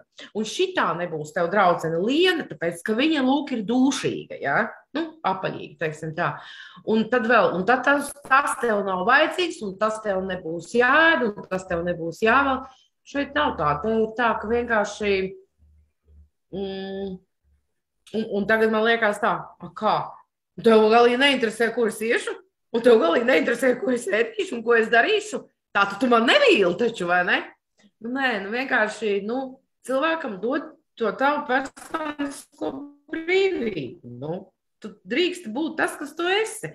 Un te ir tā, ka vai nu tev pieņem, vai nu tev nepieņem. Nu, un viss, un vai nu tev patīk tas, vai nepatīk, un, un, uh, un vai nu mēs jūtamies labi viens otru sabiedrībā, ar to, kāda mēs esam, vai, nu, ja nē, tad, nu, tad mēs ejam katrs uz savu pusi. Kaut kā es tā vienkārši ļoti ātri, tādos ātros vilcienos. Uh, tas ir vienkārši tas, ko man liekas, man gribējās pateikt, klausoties par Hermēju. Bet es atpazīstu arī savu to vīrieti Islandes, kas viņš varētu būt, ja tu pagaidīsi, kad visu noklausīsi. Viņš, note, viņš noteikti, jā, es visu noklausīšos. Man negrib, eh, es negribu skriet, zin kā, man īstenībā, man pat liekas, ka viņš ir kaut kur zevisks. Eh, lai gan viņš nav tik ļoti, jā, bet um, Nu, man tā pirmā brīdī likās, ka viņš ir zevis, un pēc tam es tā domāju, tiešām nu, nopietni man tikai un vienīgi zevi kaut kādi visu laiku ir apkārt. Es tā negribu. Nu, lūk, un te ir atkal tas, par ko es gribēju teikt. Ja man ir visu laiku zevi tikai, bet uh, tad, tad man, tad nē, tad es labāk palieku viena pati. Bet, um, Bet es nevaru, man vajag kādu cilvēku. Es nevaru vienu, es vienkārši nevaru. Man gribas tomēr, lai man ir kāds. Bet Tev varbūt ir vērts viņu papētīt, jo redzi, kas ir. Jā, ļoti salīdzinot visu vienu ar otru, var nepamanīt nianses un atšķirības, un to, ka tie cilvēki ir mēdz būt arī ļoti dažādi. Arī citām meitenēm varbūt ir cita pieredze, ka ne visi vīrieši nosaka, ko tev vēst un ar ko tev draudzēties. Man, piemēram, tas liekas kaut kas neiedomājams, ka man vīrietis varētu sākt kaut ko tādu diktēt. Es klausos tevī. Nevi, man neviens tāds latviešu vīrietis vispār, es viņu nepielaidu sev desmit metru attālumā, jo man tas ir nu, skaidrs, manas vērtības un brīvības. Jā, Ok, tas ir labi. Un, un tā, tad, un tā tas arī tā tam būtu jābūt. Bet eh, nu, man tā bija, nu, tāda ir mana pieredze. Jā, jā, jā un es par bet, to, ka ir um, dažāds. Un, kad mēs dalāmies, mēs varam uzzināt, ko izrādās mēdz būt arī tā. Jā, bet, bet, zin kā, eh, bet, zin kā, tad eh, es pieņem, tā kā es saku, nu, man pieņemsim šeit ir tā, ka. Jā, man vispār absolūti nekontrolē. Un, un vēl ir tā, ka um, Mm. Nē, nu, pieņemsim, cilvēks ir tāds, ka uh, man tā nekad arī dzīvē nav bijis, kad uh, nu, man, ir, man, bija, man bija ļoti, ļoti, ļoti smagas šīs divas nedēļas. Viņas bija tik ļoti smagas, un, un tur bija ne tikai darbs, tur bija arī vēl šis tas, un, um, man tas izsit tā kā no sliedēm. Un, uh, nu, es arī esmu diezgan temperamentīga un tā, un, un varu tā nu, arī pateikt, nevisai tā. Uh, bet nu, tā. Un uh, pasūdzējos, jā, kad nu, šis un tas, un, un cilvēki īstenībā skaudīgi un greizsirdīgi ir ne jau tikai Latvijā, arī šeit. Un, un diemžēl man ir jāsaka, ka diemžēl mūsu tautieši ir tie, kas ir visi tie nu, tādi nu, žēlīgi. Tas ir. Un, uh, protams, es pārdzīvoju par to ļoti un gribēju pārtraukt arī ar draugu attiecības dēļ tā visam un pasūdzējos, kāds bija iemesls. Viņš vienkārši visu nokārto. Viņš neko man nepasaka, viņš neko, viņš vienkārši visu nokārto. Nu, tā, kad, um, nu, kad sāpināt, lai es netiktu vairāk, lai man netiktu darīts pāri. Nu, un tad, un nekad nav bijis tā, ka atnāk pieņemsim un man pasaka, ot, es tur izdarīju to un to. Nekad neko nepasaka, es vienkārši, nu, redzu pēc tam, ka kaut kas tur ir, nu, bijušas kaut kādas sarunas vai kas, un man tā kaut, kaut kā nepielic tas, jo man liekas, ka nu, man tā parasti bija tā, ka es pasaku, nu, man tur tas un tas, un man tur grūti bija tas un tas. A, tu pati stulba, tu pati vainīga, tu pati tu tāda, tu pati šī, nu es esmu pieredzējis pie tādas attieksmes. A šeit vienkārši viss tā smuki tiek nolīdzināts, nokārtots, lai Sintīna neraudātu, lai nebūtu bēdīga. Tas tāds no Dionīsas sērijas jau ir. Labi, dosimies tālāk. Jā. Kas vēl ko grib piebilst par Hermēju, ja ir kas bilstams? Jā, Emiņa? Jā, es gribēju pateikt, ka man vienu brīdi klausījos, klausījos un dikti apsmaidījos, ka tāds baigi normālais Latvijas deputātu profils izklausās dažādos virzienos un dažādos gājienos. Uh, un padomāju no savas personīgās dzīves un pieredzes, jā, nu, teiksim, attiecību jomā nē, bet, nu, darījumu jomā gan, gan esmu iepinusies, varētu teikt, uh, nu, to interesanto biznesu lokā, kur ir eh, lēti pirkt un dārgi pārdot un stāstīt zilizaļus brīnumus. Eh, un tā sajūta, esot tur iekšā un arī piedaloties tajā, tajā sistēmā, atbilst, atbalstot, varētu teikt, savu pusi, visu laiku ir tāda, nu, nu tāda iznāks, neiznāks, iznāks, neiznāks sajūta. Ja? Un tā, tā, tā varbūt īslaicīgi tā ir ļoti patīkama, bet ilglaicīgi tā ir ļoti, ļoti stresojoši, jo tu nevari zināt, kas tur rezultātā un kā tur būs. Uh, pats tas hermeja tēls, kā tāds, man liekas, ļoti, ļoti unikāls un ļoti daudzveidīgs. Es domāju, ka viņš varētu būt tāds, uh, nu, uh, nav, viņš jau arī, tu teici, nav pats uz tāds vecpuļs, nav uz tādām ilglaicīgām kaut kādām attiecībām. Viņš tāds dzīves izda, izdaļotājs pēc manas, pēc manas sajūtas, ja, kad viņš mūsu dzīvi pat, pataisa daļu, jauku, interesantu un tā tālāk. Um, bet tas arī ir viss, ko no viņa droši vien var prasīt. Nu, es domāju, ka rodas, kad sāk gaidīt no viņa vairāk. Jā, to, kā viņam nav. Neprasiet no ķermeņiem to, kā viņa nav. Viņš, protams, un vēl šī, šī nianses, kas man lika domāt par tiem de, deputātiem, nu kā var nesolīt, jā? Nu, kā var nesolīt vēlēšanās? Ja? Nu, tad arī viss man liekas, tu pilnīgi tā klikšs un to par tiem ķermeņiem. Ja? Izrunās, kā vajag, vai ne? Tas bija tas, Jā, ko es tā ir gribēju. tāda enerģija, kas arī savāc un vienkārši šajā nodarbē viņa valda. Un, Jā, bet um, un sāk vadīt, skatot- pat ja cilvēks ikdienā nemaz nav tik ļoti tendēts. Jā, jā, un uh, es atkal padomāju par uh, to, kā Hermējs spoguļojās manī. Nu, jā, nu, uh, tā kā viņš ir tas, kurš pārvalda šīs oratoru mākslas, tad mans viss darbs, vai nu es to esmu vēlējusies, vai es ne, ne, nevēlējusies un tā tālāk. Man dzīvē ir vienmēr izdevies ārkārtīgi labi gan vadīt mācības, lekcijas un visu kaut ko, gan arī baigi labi starp cilvēkiem nokārtot lietas, ka mēs to visu sarunājam, tā kā vajag. Bez asins izliešanas, bez kaušanās, un ja ir tas ieaugušais klusums, es arī varu ieiet, izme, nu, tā vai saka, kā pārtraukt to klusumu un iziet uz komunikāciju un tādām lietām. Tas, tas par to es varbūt to Hermē dāvanu tieši sevi, ja esmu pateicīga, ka man ir tas zīlis, kas ļauj cilvēkiem samierināties. Ja? Nu, tā, tā, tā ir tā, tas spogulis, varbūt dāvana man tieši no tā vīrišķīgā aspekta. Tā kā es varbūt arī daru pa labu deputātu, ja es tā gribētu. arī tā skaitā. Jā. Jā, kas grib paturpināt? Nu, es varu pateikt, ka jā, jā tas ir manējais. Šis tīps ir mans. Jā. Vai, nu, baigi precīzi, jā. Tas, tas ir.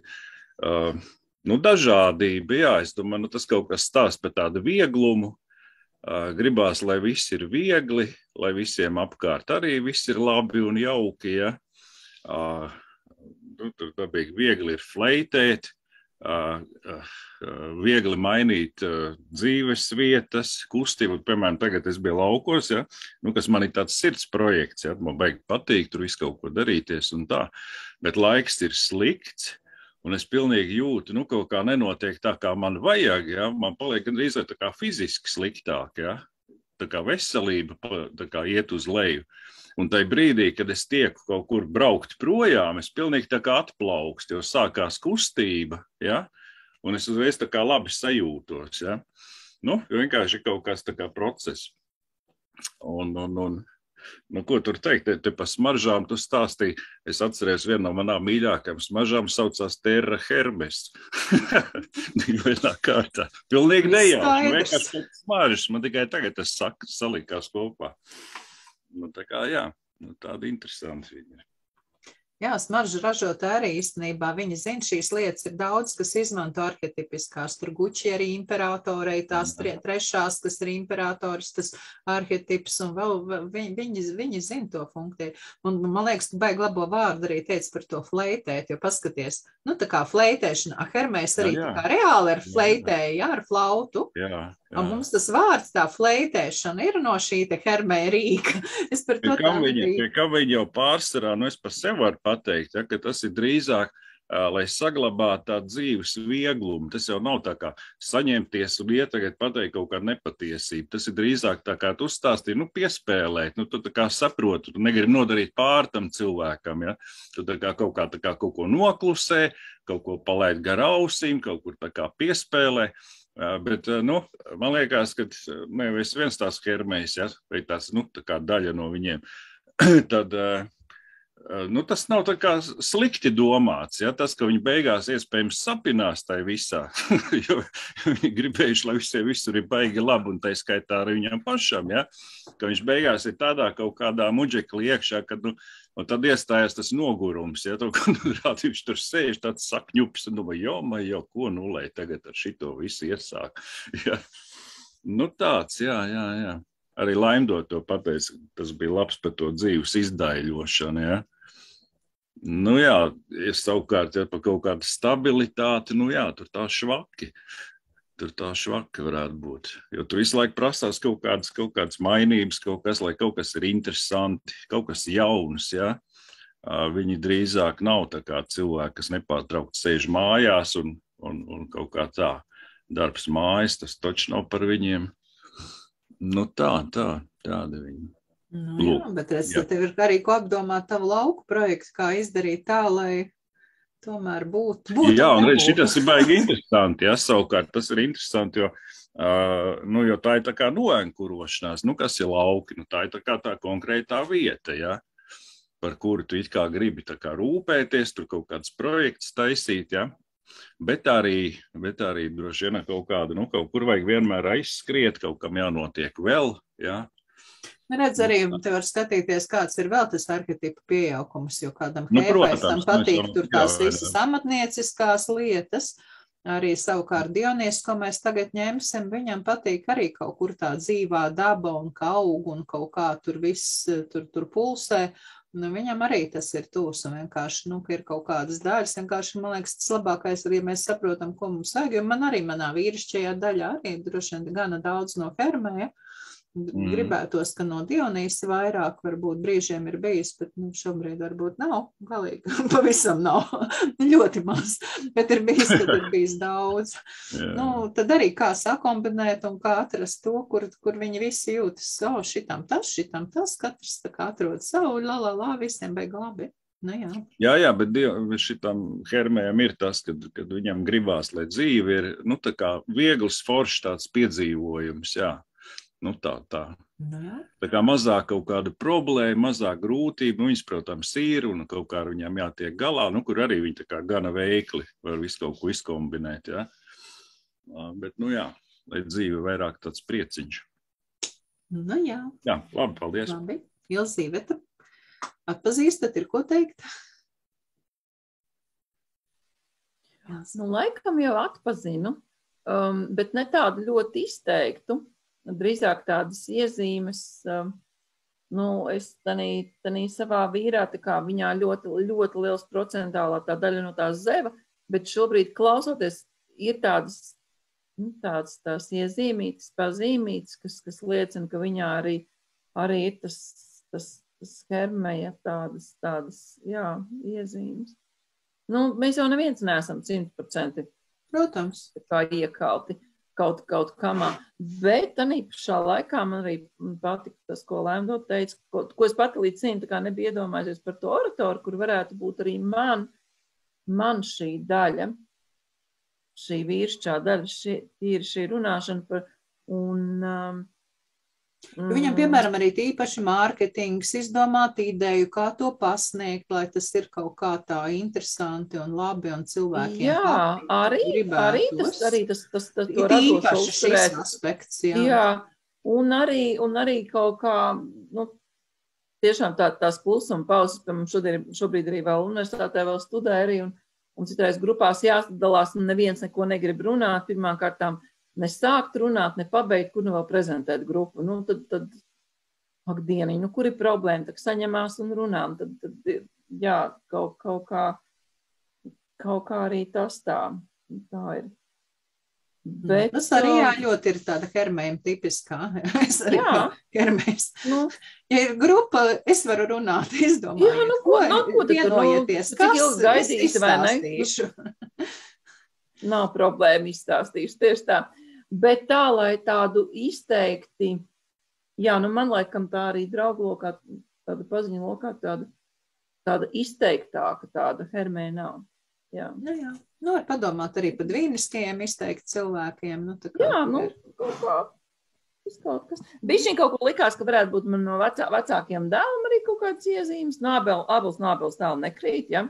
Ir jau kaut kādas lietas, ko mantojam ka kaut kādas, varbūt tādas, tādas dažas tādas, jā, iezīmes. Mm -hmm. Bet tur jau var, kā, saka, kā mēs runājām, ir, ir kaut kāds laiks, kurā mirklī mēs tur dzīvojam, izdzīvojam un, un, un, un augam un mainamies, un, un tas viss ir, mm -hmm. viss ir mainīgs, nekas nav patstāvīgs. Jā. Labi. Un tev, Ivetiņa, vai ir kaut kādi hermēji gadījušies dzīves ceļā?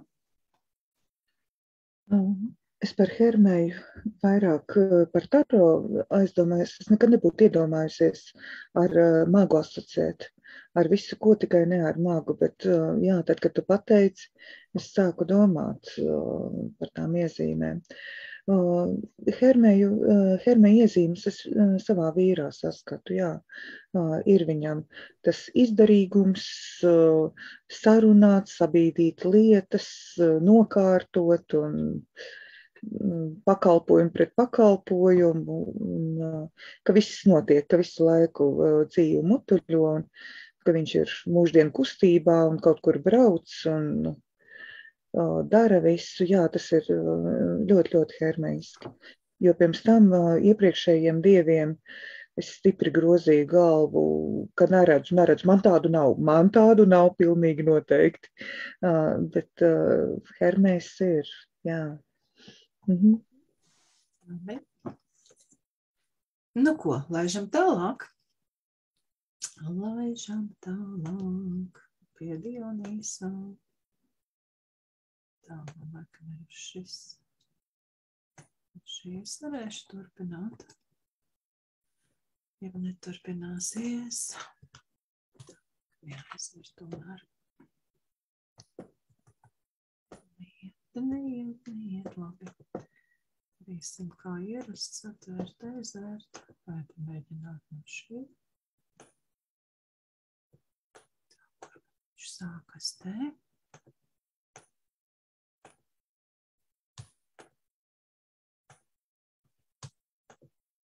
Nu, labi, aizvērsim visu un atvērsim pa jaunu.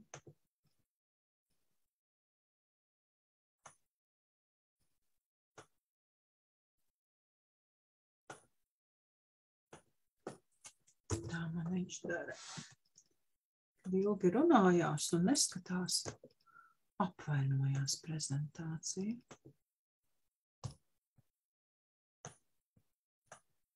Ja.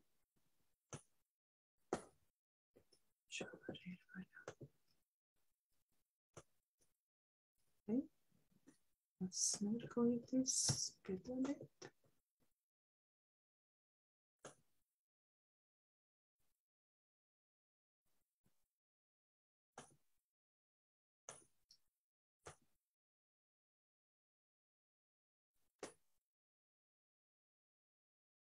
Mm. Tad man viņš te.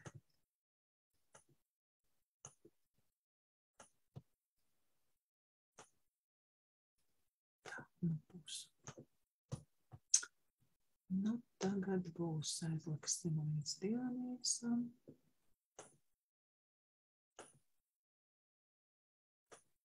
Tā, tagad jāaizies. Nu, lūk.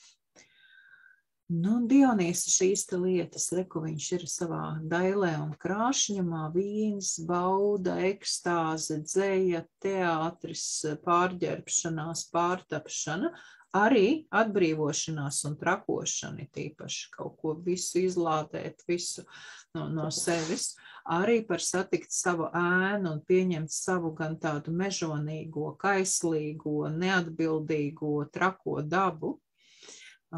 Viņa simboli ir leopārds, parasti tur gan kāda, gan viņš citreiz jājas leopārda vainags, viņām ir no vīnogām un efejām, un arī uz šī te, viņa šī te zīžļa, kas saucās tirs, nu, kuram ir čiekurs galā, tur arī mēdz būt, ka viņam auga šie te efejas vai vīnogas, un, un, un tie vīnogu un efeju, un arī egle kā koks, egle, jo egle mums ir par skumjām, un skumjas arī ir viena no viņa emo, emocijām, un kā ieeja. Nu, lūk, Dionīs, kā tad viņš ir radies? Viņš ir vienīgais dievs, kura māte ir zemes sieviete, nu, tāds olimpietis. Pārējiem visiem bija kādas tur titanīdas, nimfas, nu, kas jau ir tādas no, no, no tās vai citas paudzes dievišķi radītās, bet ne zemes sievietes. Bet viņa, viņa māte bija bezgala skaista, viņu sauca Semele, ķēniņa meita kur, kurai, kuru tad viņš, protams, Zeus, protams, Zeus iekāroja, apbūra, lai tiktu klāt semelē, Zeus pārvērtās, pārtapa par tādu skaistu jaunieti, jaunekli, un bija ļoti traks pēc viņas, kā redzam augšējā attēlā. Viņš bija precējies ar Hēru tajā laikā, un Hēra arī vēlāk uzzināja par šo te semeli. Nu, un Hēra arī ieradās pie Semeles, savukārt pārtapusi par Semeles tādu šo te zīdītāju auklīti, un kas ir dzīvo vispār pilnīgi citā valsts reģionā un ilgus gadus nav redzēta, bet ļoti mīļa.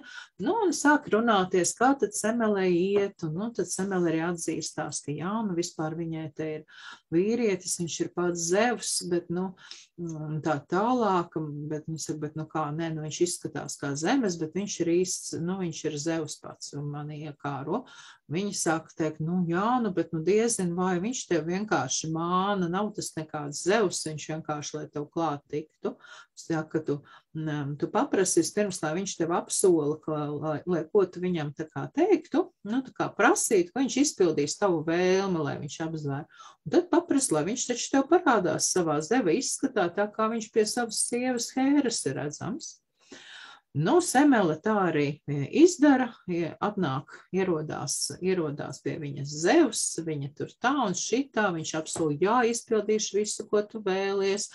Viņš saka, nē, nu tev būs slikti, nevajag, es, ja es pārtapšu par Zevu, tas slikti var beigties. Viņa saka, nē, ja tu tā kā nepildīsi vēlmi, Un, un viņš arī nevar pild, nepildīt to solījumu, jo viņš ir zvērējis pie Stiksas upes ūdeņiem. Tas nozīmē, nu, ka, ka Dievs tad arī izraida no Olimpu un vispār viņiem, viņiem čau, nu, pēc tā viņiem ir zvēras jāpilda.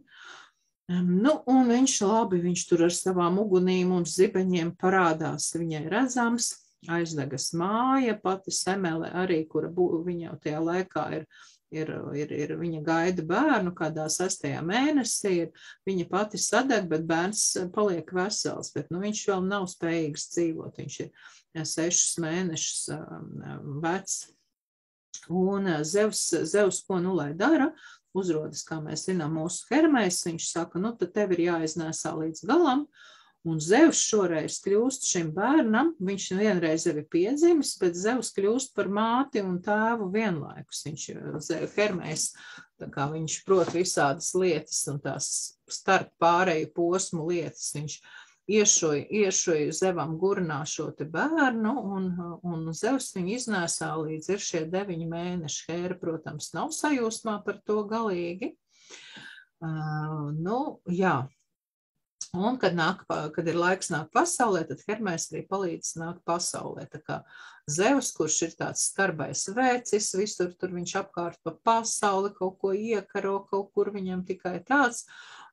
Šis te bērns viņā atklāja arī kaut kādu tādu maigo, rūpīgo dabu, un Dionīs arī sanāk viņam, manuprāt, viņš sanāca tas jaunākais bērns no visiem, nu tādiem, kas ir, nu, stāsti jau ir bezgalīgi.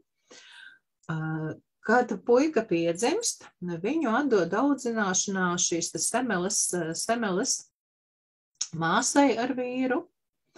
Un, lai neatpazītu, ka tas ir tas, bērnu kopš bērnības viņu ģērb kā meiteni, ka tā ir meitene. Tas nav tas puika, tā ir meitene, viņiem ir piedzimusi meitiņa. Un viņš staigā meitenes drēbēs Dionīs maziņais kas mums arī var daudz ko pastāstīt par viņu. Viņš dzīvojas tur ar sievietēm, tā kā tā ir meitene, kur tur sieviešu pusē viņam arī vēlāk pa dzīvi viņam ļoti patīkams un pazīstams sievietes. Viņš ar viņām prot sarunāties, viņš var pat izvēlēties vēlāk arī profesiju kādu, kas ir tur ar grīmu, ar dizainu, kaut kādas skaistas lietas, kaut kāds zināms biseksualitātes moments arī tajā visā ir, ka viņš gan tā, gan tā, tā kā gan vīrietis, gan sieviete.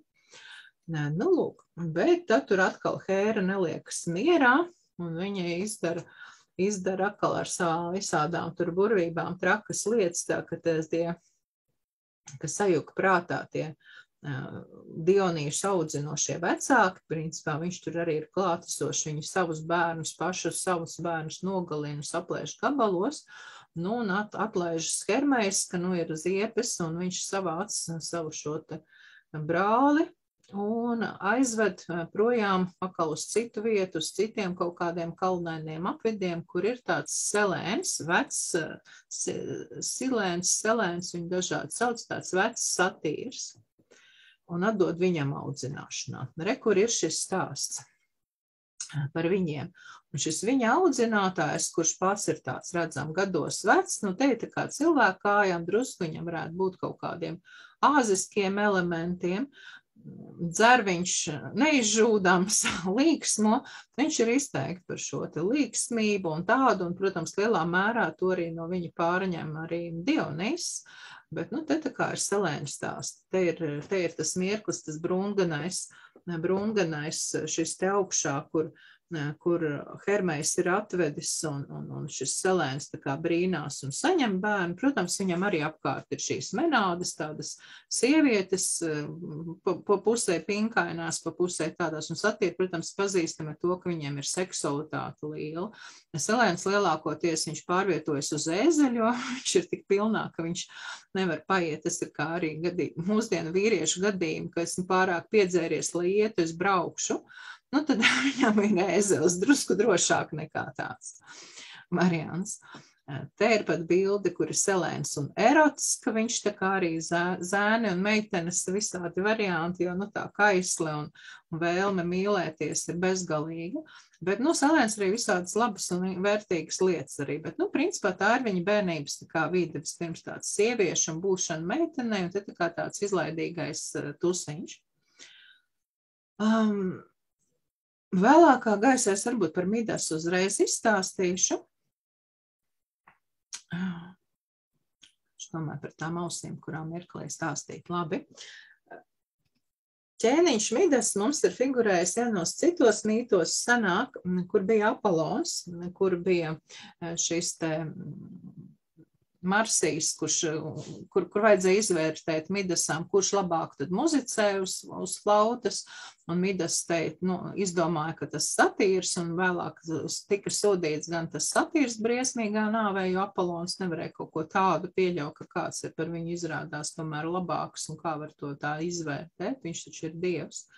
Un Midasam viņš teica, ka tu vispār neko nedzirdi, ne mūziku, neko, un es stulps, un Midasam parādījās ēzeļa ausis, kuras viņš rūpīgi slēpa, nu, frizieris zināja kaut kā zem matiem, zem cepurēm, bet, nu, frizieris zināja, frizieris nevarēja izturēt ka, nu, ka nevienam nepastāstīja par to. Viņš aizgāja uz niedrēm, pačukstēja niedrēm, vienkārši izstāstīja un niedrs tad tālāk, un, un viss lauts, un visi dziedāja, visi zināja, ka ķēniņam midasam ir ēzeļa ausis.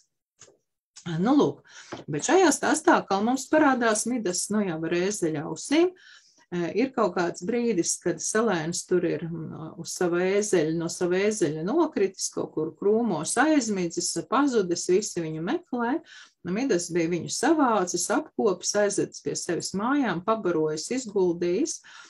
Un Dionīs, nu, ka, ka tik labi viņš ir izturējies pret viņu skolotāju, Dionīs Midasam prasa, nu, brīnišķīgu labu lietu tu izdarīji, parūpējies. Saka, ko tu vēlies, es izpildīšu tavu vēlmi. Un ezeļa ausis Midasam laikam bija neveltīgi, jo labākais, ko viņš varēja izdomāt, vēlēties, viņš teica, o, es gribu, lai viss, kam es pieskaros, kļūtu par zeltu. Un sākumā, protams, labi, viņš pieskarās tur krēslam, galdam, vēl kaut kam, un tad viņš sniedzas, viņš grib paēst, un ēdienu arī pārvēršas par zeltu. Viņš grib mīlēties, un sievieti pārvēršas arī par zelta skulptūru. Uh, Un viņš ir nelaimīgs, jo Hermēs Foidionijas arī teica, nu, nav tā labākā vēlme, bet ja tu droši zini, ka gribi, nu tad labi. Un šeit tad, nu, viņš dodas pie Hermēs, saka, lūdzu, lūdzu, es darīšu, ko gribi, es varu atdot tev savu tur ķēniņu valstī, jebko, tikai atbrīvo mani no tā. Nu, un beigu beigās tad arī Hermēs, Hermēs viņu no šī, kāpēc atkal Hermēs, nu, bija tikko paldies Hermei, Dionīs viņu atbrīvo no šīs lietas. Tā kā, nu, arī tādi stāsti. Te ir arī par, par, par šo te Dionīsu, nu, ka viņam ir kādi, kas sveši viņu ir audzinājuši, nu, ne tēvs īsti, ne tas, ka viņam ir tas gadījums ja Hermēs tur bija visu laiku sievietes, viņa lutināja, šeit viņš sievietes iegūst tādas īpatnējas. Nu, lūk, tās sievietes, kas ir ap Dionīsu, te ir redzams, un viņš tādas arī turpmāk veicina, jo viņa īpašais talants, kas ir Dionīsam, ir kā reiz cilvēkus novest ekstāzē. Tas īpaši iedarbojas uz sievietēm, jo vēlāk tur viņš tad pa dzīvi ir.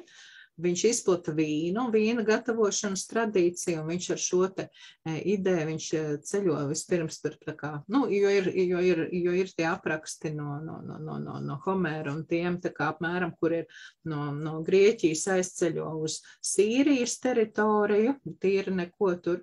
Eģiptē viņu ļoti labi vietējais valdnieks uzņem, un viņš ar cieņu un godu un, un, un gan šie dejas un ekstāzes un rituāli un vīna e, darīšanas um, tradīcija viņš padalās. Un, kad viņš atgriežas atkal uz Grieķijas pusi, nu vairs nav tik labi. Pirmkārt, viens, kas viņu tur laipni ļoti uzņēma, zemnieks, ka viņš ar šo te padalās iemāc taisīt vīnu, un viņš ir priecīgs, viņš tur dod testēt ganiem, bet neviens jau no vīnu līdz tam nav zinājis, un viņi nezina par paģerām. Un tie gani nākamajā rītā, pēc lielās līksmības, mostoties ar stāpošām galvām, nelabām dušām, viņi saka, ārprāts, tu mūs, nu, tam, tam zemniekam, apmēram viņš bija Iraklīs vai, vai, vai, vai Ikarijos, nu, tā kā līdzīgs tam vārds. Viņš saka, tu mūs saindēji, un viņu nogalina. Un tur viņa meita vēl arī to redzot. Ah, un viņa vēl tos līķi tur aizvāc kalnos, un viņa meita meklē, nevar atrast, nu, lai, lai varētu tēvu abedīt vispār, kur, kur tad viņš ir nogalināts. Un tad viņai bēdām vēl uz kapu pakarās. Un, īsāk sakot, beigās ziepes sanāk, kas Dionīsam ar to vīnu izplatīšanu nav baigi saulaini. Nu, lūk, tas, ko viņam ļoti gribās, viņam gribās atgriezties, viņš, viņa māte Semela ir no tēbām, nu, no tā tās um, Grieķijas valstiņas. Viņam gribas, lai tur atgriezties un lai viņu ciena un redz, ka viņš ir Zeva dēls. Un viņš atgriežas uh, savā stēbās, un tur arī neiet labi. Nu, tā kā viņš ir it kā tāds un tik pievilcīgs un kāds, bet uh, tur viņu izsmēja. Pirmkārt, tur ir arī viņa mātes, vēl citas māsas, kas saka, nu nē, kurām vienmēr ir licies, ka tā semela tur mulda kāds no Zeusa viņas tikai tēlo un slēp īsto tēvu, ka tas, tas viņai nevar būt nekāds zeva dēls un ka tas viss ir muļķības un, un skaudība, greizsirdība. Un arī vietējais ķēniņš, kurš ir tāds ļoti pareizais, un viņš zina, ka tur tur orģijas un dzer vīnu, un tur sievietes un kailas, un kas tik viss nenotiek. Uh, Īsāk sakot, viņu trends projām vajā visu, viņa satīrus, jo viņa svīta ir satīra un šīs te menādes. Satīrus savāc cietumā, menādes tur mūk, mūk arī projām Dionīs, viņš nonāk līdz klīnas malai, ielec jūrā un, un, un viss beigtos pavisam slikti, ja ne, ja ne okeāna, tur šī arī pārvaldošā nimfa, kas viņš savāc savā pilī. Uh, Atkal šeit mēs varam redzēt, jo ūdens ir zemapziņas dzīves, un viņš kādu laiku uzturas tajā zem, zemūdenī, bet viņš ir ļoti nelaimīgs. Šajā pasākumā šobrīd iejaucas viņa vecmāmiņa, Reja, nu, māte zeme, nu, ne gluži māte zeme, māte zemes meita gāja uz māte zeme. Viņa atbrīvo satīrus, viņa iedrošina viņus, viņa saka, tu esi zeva dēls, tev ir īpaša vāra, paskaties, kā, kā ap tevi visi tie cilvēki danco. Un Dionīs savācās un atgriež tajā savā pilsētā otrais, kā fēniks. Viņš tikko ir miris un tikko viņš ir padzīts ar kaunu un izsmiets.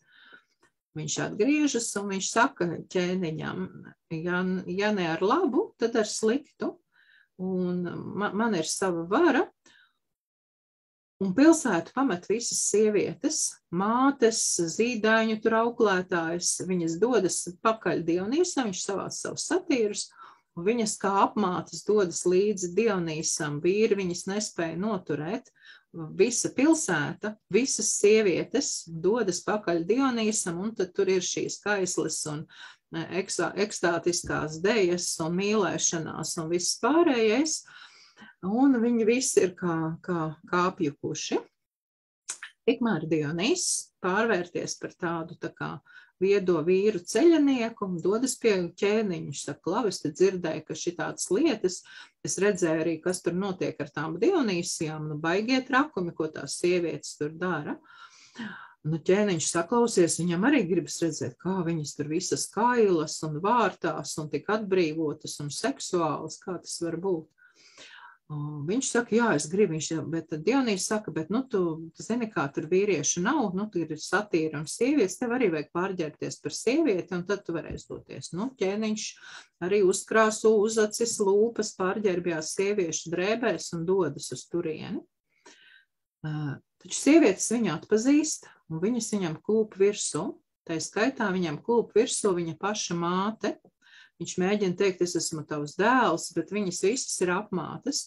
Viņa, mā, viņas viņu saplosa, māte norauj vispirms viņam roku, viņas saplosa viņu gabalos, un tad māte lielā līksmībā viņa galvu uzdūrus uz mieta iet, jo viņas ir pārņemts. Un te ir arī tā Dionīsija būtība, tā pārņemtība, ekstāze. Un arī Dionīsijam, Dionīsam pašam šie te pasākumi tur vairākas reizes beigušies, ka viņš tur sāk slepkavot un darīt, un tad viņš mēģina atkal pie, pie rejas un pie visa, tā kā būt ar lielo māti kontaktā, kas viņu dziedē, mācīties pazemību, sievišķo un tā kā tiek normā, jo viņš ar šo visu var arī riktīgi norauties no normām. Te ir, protams, arī alkohols, narkotikas un viss cits, un arī apmātība vispār kā tāda un ļaušanās jūtām, kas tev nu, aizbrauc jums standarta valodā runājot. Nu, lūk. Zevs sūta arī, te ir lejas kadriņā dzeltenbrūnajā Indija. Tēbās mēs tā tad ir, aizraut viņš var, Zevs saka, labi, pirms, lai es tevi varētu pieņemt, pierāda vēl, ka tu esi kā cienījams un, un olimpā ņemams dievs. Reku ir Indijas valsts, indieši, viņi sākuši kaut kādus dīvainos dievus godāt, un viņiem ziedojumus nes tur visādiem ar ziloņa galvu un dīvainiem tādiem, dodies uz Indiju un atgriez viņus pie grieķu ticības un pie mūsu dieviem. Indijā viņam iet labi, Indijā viņu godina un, un viss ir, un visas sievietes dejo, un viss ir baigā līksmība. Nu, viņš tā kā pierāda un, un, un parāda, ka jā, viņam ir izdevies, un, un viņš var, un viņam ir vara. Taču nu, visu mūžu viņam ir šis te, ka mani nemīl, vai mani pieņems, nepieņems, vai atgrūdīs, vai nosodīs. Tā ir tāda viņa dzīves tēma.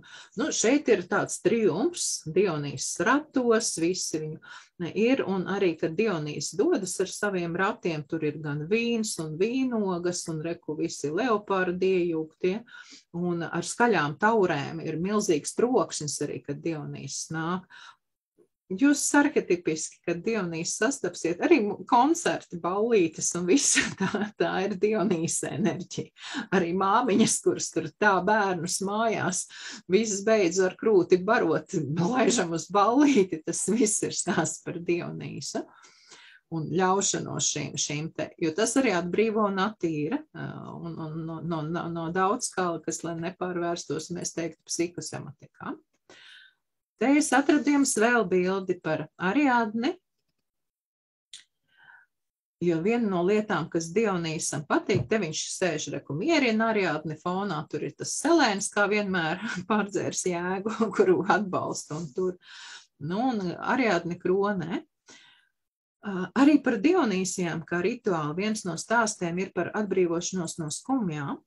Un to, ka tieši viņš sastopa Ariadni, kur ir pametis tēsējs nu, uz šīs Naksas salas, un viņa skumst, un Nīčies braukšā ielika Nīčem ir ļoti interesants arī tāds kā Ariadnes vēstule, un, un viņš ļoti Nīči pats, tas ir filozofs, un, un viņam grāmatas arī Latvijas tūkots antikrists, un tā runāja Zaratustra. Uh, Un tā, un Nīče pats ļoti šo mīts viņam ir tūs. Viņš sākumā saskata, ka šīs te Ariadnes un Dionīs mīts e, dzīvo viņa draugos. Tas ir Vāgners, e, opera mūzikas rakstītājs un viņa sieva. Viņš ar viņiem ļoti draudzējis un ir tūs, bet tad viņš tā kā sāk nosodīt, ka Vāgners visu savu interesi par mītiem nav gana dziļš. Nīč ir arī uzrakstījis tādu kā Ariadnes vēstuli, kas ir šajā Zaratustras grāmatā. Kur viņa it kā pati nav, un Dionīs nav, bet viņa tur ir un vēstuli ir. Un viena no tām frāzēm tur ir, vai kāds mani vēl mīlēs, nu, vai es vēl piedzīvošu mīlestību, kam man vajag, un vai atradīsies kāds, kas spēs mani mīlēt. Un te arī kaut kur ir tā Dionīs enerģija, uz ko, ko viņš ir, jo viņam tas ir saprotami, kad viņa nemīl, viņu atraida un, un izmet, un viņš nav vajadzīgs, un vienlaikus viņu var arī ļoti gribēt, nu, vai vismaz uz mirkli, un, nu, tā kā tur viņiem noklikšķi, un, un viņš Ariadne, kas ir, nu, kā ķēniņa meita, bet arī zemes sieviete, arī redz gadījums, viņš apret zemes sievieti un, un savāc uz Olimpu, un, un visas lietas tālāk notiek. Uh, Nīčs arī vēstulēs ir, ka viņam bija sākumā par ar to, viņš tur sākumā tā kā jokojoties uzrunāja par to savus draugus, tur Ariadne un tāds, vēlāk viņam tur ir viena draudzene, kas ir, kas ir filozofa un tāda gudra, kas spēj viņam līdzi spēlēt, bet viņa tā kā īsti neļaujas tai mīlē, un viņa tā kā nav aizrausies ar Nīči. Bet, nu tā, un nu, vēlāk tur Nīči jau diezgan viņam jumts aizbrauc. Viņš redzēja Turīnā ciemojoties, kā pie viena drauga, kā tur kuķieris sit vecu zirgu, kurš krīt zemē un nespēja vairs paiet, un viņš metās pie tā zirga, sāk viņu tur, tur lolot un bučot un, un, un runāties, un viņam ir kaut tāda psihotiska lēkme, un tālāk viņas ir dažādas vēl, un pēc kādiem gadiem viņš tad arī dzīvi beidz pašnāvībā. Bet, nu, tā kā, jā, ar Dionīs enerģijām Nīčs ir ļoti pazīstams un viņa pārcilvēks. Šie ir kadri no šī gada no Naksas salas, kur pavasarī ir Dionīsijas, kur vīrieši, kā mītā pieņemts, arī ģērbjas ar lentēm. Tur ir arī kādi, kas pārģērbjas par līgavām, vai redziet, tur ir ielu gājienā balti melnā, un tie ir tieši pārsturā vīrieši, kas iet, sievietēm tur sarkana tērpijā, ka, un arī atnē ir vasarā svētki. Bet te lūk, viņi ir paši kā līgavas un pieņem šo te elementu. Un otrs reku, kur ir labajā stūrītē metāla, es varbūt ielikšu, es ielikšu grupiņā pat atsevišķu video, jo tas ir jāredz. Tā ir arī tā, tāda, nu, tā kā varētu teikt, satīra un Dionīs elements. Tie ir visi tā kā zvaniņi, viņi ir sasieti uz jostas, tie zvaniņi, un uh, viņi tur lēkā un auro ar tādu vēl garu, tādu falisku koku rokā. Tas arī ir šo te pavasara marta Dionīsī viena no rituālu daļām. Uh, Kas ir šodien šajā valstī? Paši ģērbjās, paši cilvēki, tie nav kā aktieri, tas ir dzīvais Dionīs, kas tur ir, un tāpēc jau man arī tur negribās tur nonākt šajā te vietā. Ja šis nebūs tagad, tur rudenī ir otrs cits Dionīsī, tad rudens ražas festivāls. Šis ir tā kā, lai pavasaris un, Un tas, un, un, un arī vīrieši, kuri, jā, arī vīrieši, kas tiem svētkiem, tad viņam sarkanas cepurītes un ir kāda broša ar kādu puķi vai, nu, tā kā ir tas sievišķais elements, bet viņi to ar cieņu, vecie, vecie lielie un mazbērni un, un, un visi viņi to dara.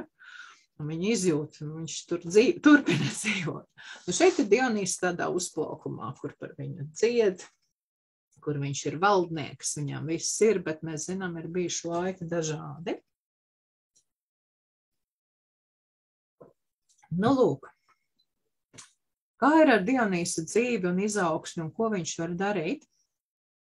Tā kā viņš neatbilst stereotipiem un, protams, ir gan tās ekstāzes un ļaušanās un, un, un, un, un viss kaut kas, kas ir gan, gan seksuāli, gan ar vielām, uh, nu, sabiedrība nepārāk pieņem tos, kas tā aizraujās. Jo, nu, tā kā padzērām, papriecājamies, un viss viņš var tur uz pilnu klapi, nezinu, ar čigāniem, ar lāčiem, ar greznību, ar visu pēdējo naudu mēs svinām un vēl kaut ko citu. Tā kā sabiedrība nepieņem, viņi lielā mērā arī atbalsta tos, kas paši ir tādi, nu, dīvainie, nepieņemtie savādie. Viņš ir sievišķīgs, viņš ļoti saprot sieviešu pasauli un tiešām mīl un saprot un izjūt sievietes, un tas ir viņa. Pa vidām tajos mītu ceļos viņš vēl ir arī tur cīnījies un izsmiets, viņi tur ir tie kādi tur tie briesmoņi saplosījuši gabalos, viņš ir nonācis arī pats pazemes valstībā un atkal savākts kopā un atkal pārcemis un transformējies. Viņš dzīvo ar to, ka viņš saprot, ka ne visi priecājas par to, ko viņš nes un ko viņš dod kā labāko, un tas ir arī viena no viņa nastām. Viņš arī runā un aicina paskatīties savā ēnā un pieņemt šo savu mežonīgo, trako dabu, agresiju un visu pārējo, kas tajā ir. Jo viņš arī Dionīsam tur arī tie viņa svētki ir kā ar šīm te maskām, teātri, pārģērbšanās, izreaģēšana, nu, tā kā tad uz maksimālu klapu. Tas nav tas teātris, kā būtu Apolonam, viss pieklājīgi, visi tur paspēlēja, nolasīja dzēju un tagad pa mājām. Šis ir cits stāsts.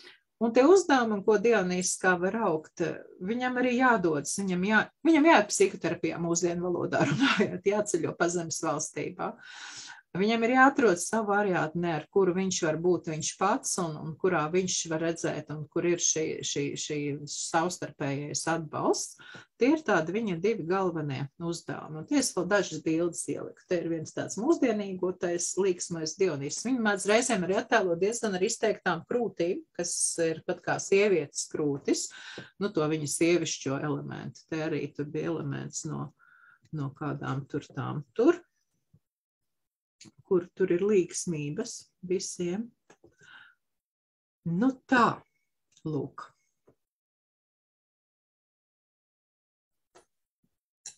Sēdīšu zemeni Dionīstam par godu. Kāds ko gatavs teikt? Um, Ilzīt?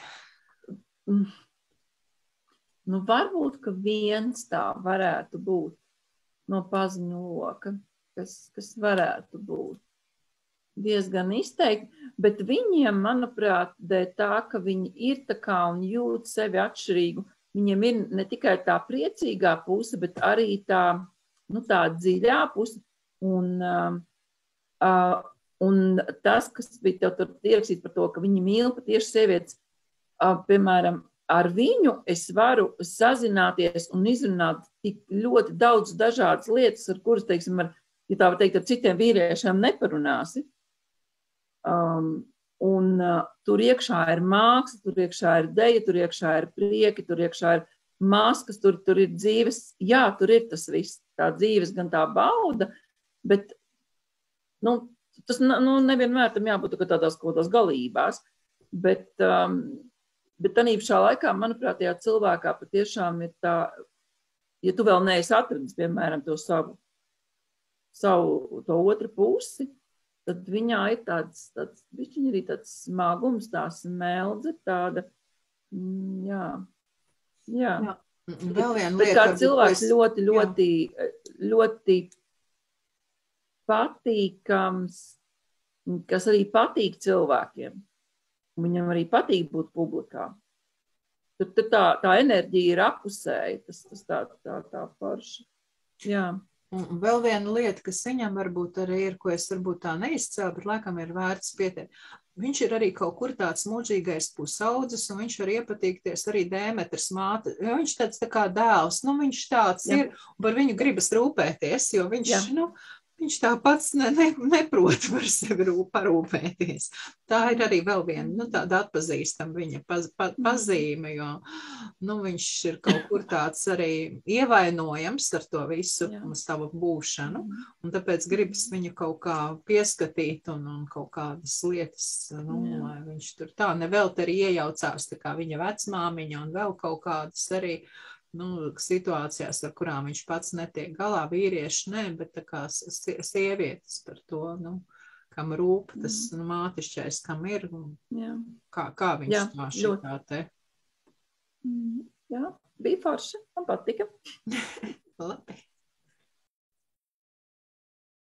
Nu, Sinti arī tīri enerģiska laime dot, es tās aizdomājusies. Jā, zinu, kā ir. Es īstenībā es neteikšu neko par, to, par, tiem, par tiem vīriešiem, kuru, kuru es atpazinu to Dionīsu.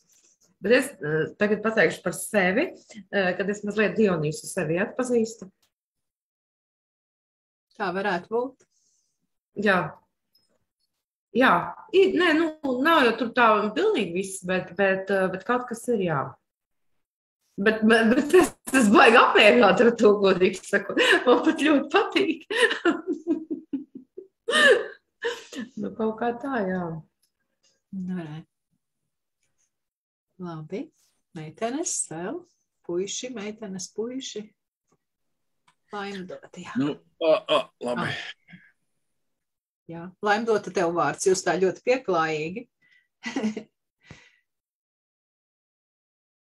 Slēdz no kā laimdot viņa mikrofonu. Jā, labi, labi īsti tādi pieklājīgi. Uh, es domāju, klausoties par Dionīsu, ļoti daudz domāju, ka viņš varbūt ir tāds mūsu to pašu karnevālu, tāds tēvs varētu būt kultūrā vai ne. Kad uh, Jā, karnevāla... Viņu noteikti var sastapt. Iesaku, kas nav bijis, ir ap Jāņiem, ir šamaniskais festivāls būtība. Ja kas paskatieties vienkārši bildes internetā, arī tantras festivāli un tie tas viss ir stāsts par Dionīsu un, un, un šo te ļaušanos, sapulšanu, jo tajā ir arī mēs visi esam viens, un tas ir kaut kas tāds tik liels, un kas mūs vieno, un es esmu ķermenī, un es esmu brīvs, un, un visi mani mīl, un visi man brāļi un māsas. tajā visā ir ļoti šis te. Jā, Ja, jā, kāpēc es iedomājos par karnevālu? Jo karnevāls un maskošanās man vienmēr ir ārkārtīgi interesējuši, un tas manā dzīvē ir arī viss kaut kur gājis cauri un arī kaut ko daudz nozīmējis. Gan arī tīri pētot un skatoties, gan arī piedaloties tajās lietās, jo es arī teātri ļoti labprāt spēlēju visu pārējo. Uh, bet uh, vēl ko es aizdomājos, vai man nāks satikt. Jā, kā tu pateici, ka ir šie nenobriedušie vīrieši, tad es uzreiz sapratu, ka viņi ceļā ir bijuši pietiekoši daudz dažādās situācijās. Vēl joprojām es viņus satieku, bet nu, es kaut kā necenšos vairs veidot tos kontaktus. Esmu vairs ne, neaugstu būt māma. Esmu iekritusi uz māmu vairākas reizes šiem bezpalīdzīgajiem Dionīsiem.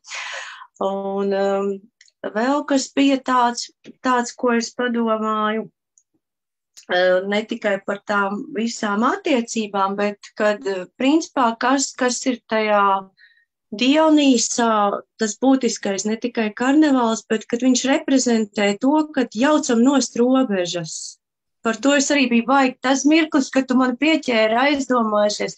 Un redzi, tas ir raksturīgi tieši tam pusaudzim, kad viņš uh, savā satraukumā un savā identitātes meklējumā, jā, ir, dara visu, ir, nu, teiksim, tās pašas oriģijas, tur alkohols un viss pamēģināšana, aizliegtā pamēģināšana, tas jaucam nost robežas, ja, lai noteiktu savas robežas.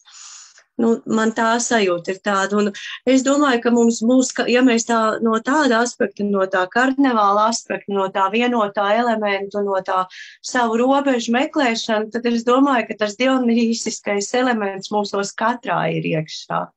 Ja, ka tev vienmēr vajag šīs robežas pārbaudīt, un varbūt, ka ir pat vērts ļauties, lai viņas reizēm izjaukt, lai pārliktu pa jaunam. Un tā ir tāda drosma, uzdrīkstēšanās, un tev ir tāda kolosāla palīga līdzekļi, varbūt kā maskēšanās un visāda noskaņošanās un tā tālāk. Es domāju, ka tas ir svētīgi, ja tas cilvēks ļauj to Dionīšu daļu sevī. Tā ir, jo di, Dionīsam, nu, kā, viņš palīdz pārdzimt. Viņš tā ir enerģija, kas ir vajadzīga, jo, kad tev vajag to refresh. Arī Hermējs mums starp pasaulēm, bet šī ir tā defragmentējama veco es, Un tad redzēs, kas būs jaunajā. Un, un tā kā šis ir, viņi tādā ziņā arī, nu, tādā sadarbības modelī arī ir. Ir jau arī vesels virziens, bet, nu, mākslas terapijā, masku terapija, kur, kur strādā, piemēram, arī psihiatriskajās slimnīcās ar slimajiem, kur veido šo te masku, sejas reāli uzlikt, viņi kādu laiku pārdzīvo, ir jānonāk tam efektam, kad es paskatos spogulī un es sevi vairs nepazīstu. Un pēc tam viņiem viņi taisa, vai pilnīgi skudriņas iet, jo es tur biju, kur tie mēs esam gan darījuši kaut ko, gan, gan kur ir stāstījuši, kas tur strādā.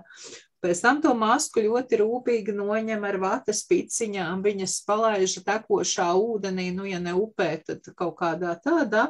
Un daudziem ir ļoti labi, kur smagas psihiskās pēc saslimšanas, ka viņiem ir, nu, daudz labāk paliek. Jo tu biji kļuvis par kaut ko citu, tu viņu ieraudzīji maksimāli, un tagad viņa noņem nost nu, šo, te masku un palaiž, un tagad tu vari būt tu pats, un tu sevi varēja sākt atpazīt.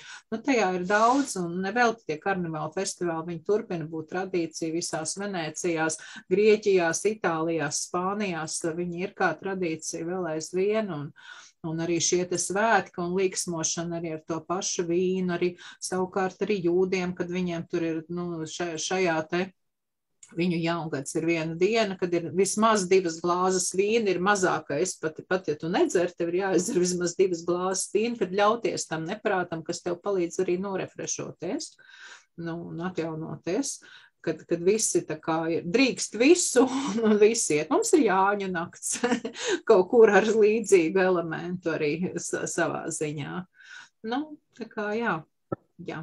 Es domāju, ka arī ķekatu gājieni mums Jā. ir, ja viņus praktizē, ir uh, ar to pašu elementu, jo es zinu, izjūtu gan kāda ir personīgi man kāda ir bijusi, ka tu pa to nāvi taisies, gan arī uh, tad, kad tu velc vīriešu drēbes mugurā un, un, un saģērb savu vīrieti sieviešu drānās, jā, kādas tev ir šīs sajūtas. Nu, jā, mums arī, piemēram, šī te performance ir arī, nu, garajās pupās, nā, Ivetiņā jau bija.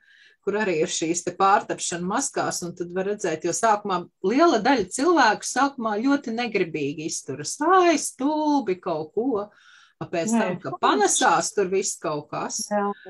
Nu, tad tā kā ir, wow. Labi. Nu, jā. Nu, Viktor, tagad tu vari runāt, ja vēl spēj.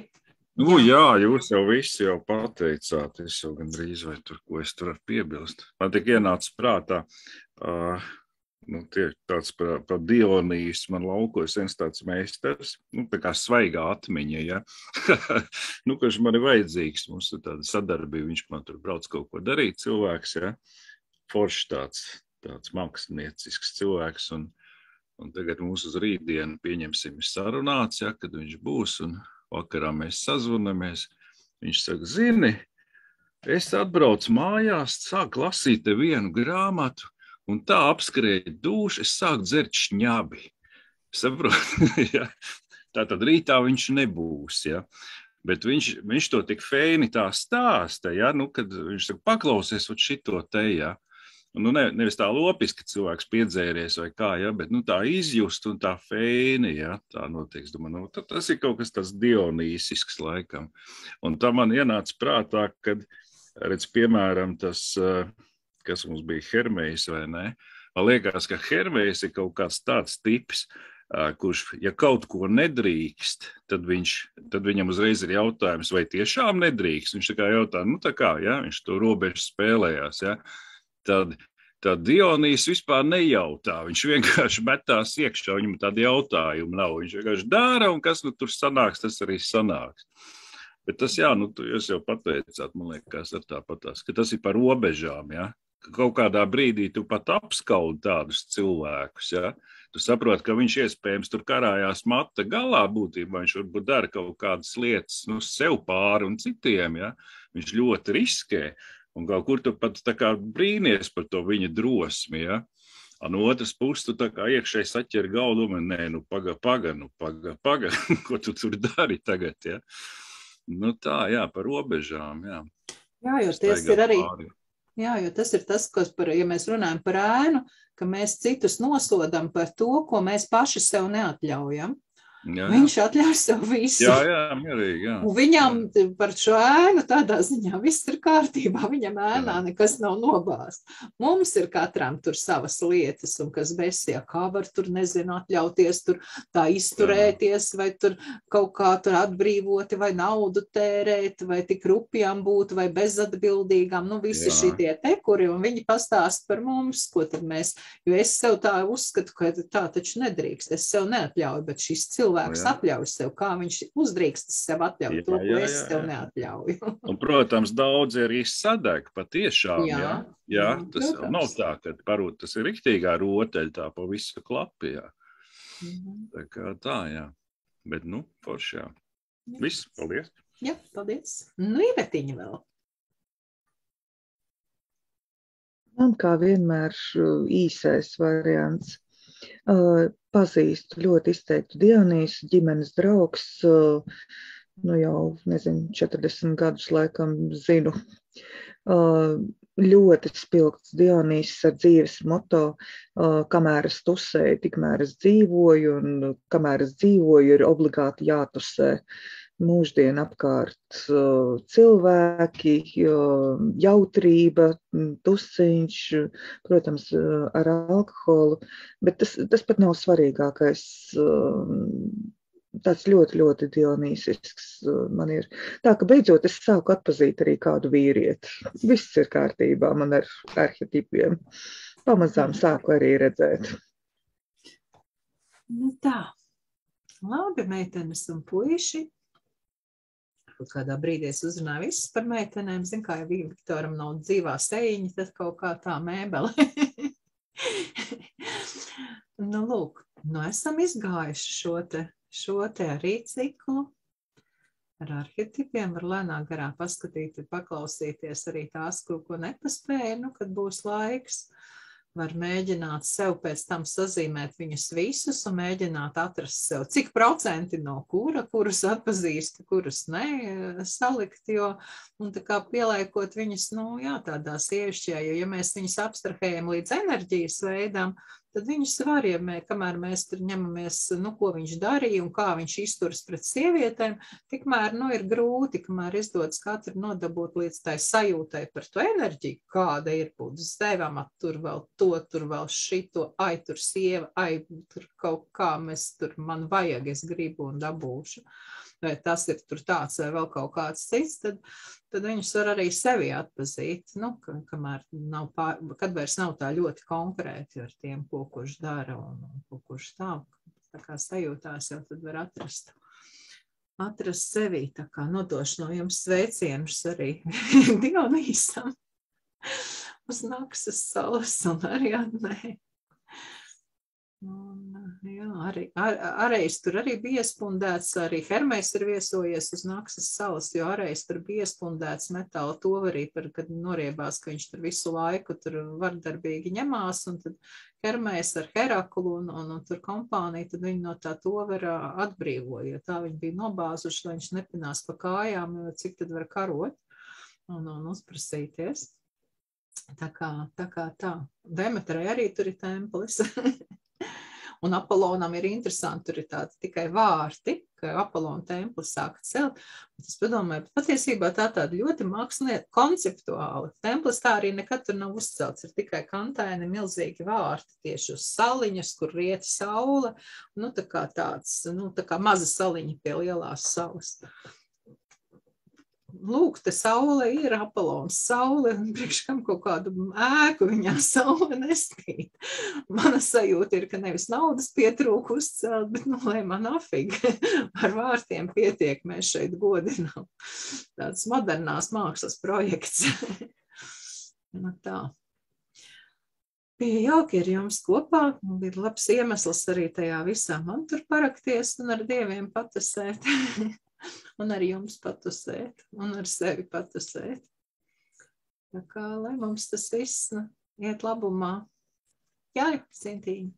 Ritiņ, ritiņ, jā, gribēju prasīt, nu, cik es saprotu, es tagad neatceros precīzi, aprīlī tu brauc vai maijā tu brauc ekskursijā? Es braucu, kā uz otrajām lieldienām es dodos ceļā un atgriežos pa 10. māju uz trijām nedēļām. Ok. Nu, pēc nedēļas. Nu, tad, jā, Nu, drusku vairāk. Nu, mēs te kaut, kad, kaut kādās iepriekšējās nodarbībās runājām, eh, ka varbūt iespējams eh, vasarā Latvijā būs iespējams kaut kā satikties visiem kopā. Varam par to domāt. Ir gan pasākumi, uz kuriem var mēģināt satikties, gan droši vien kaut kādos vēl veidos var mēģināt satikties. Mm -hmm.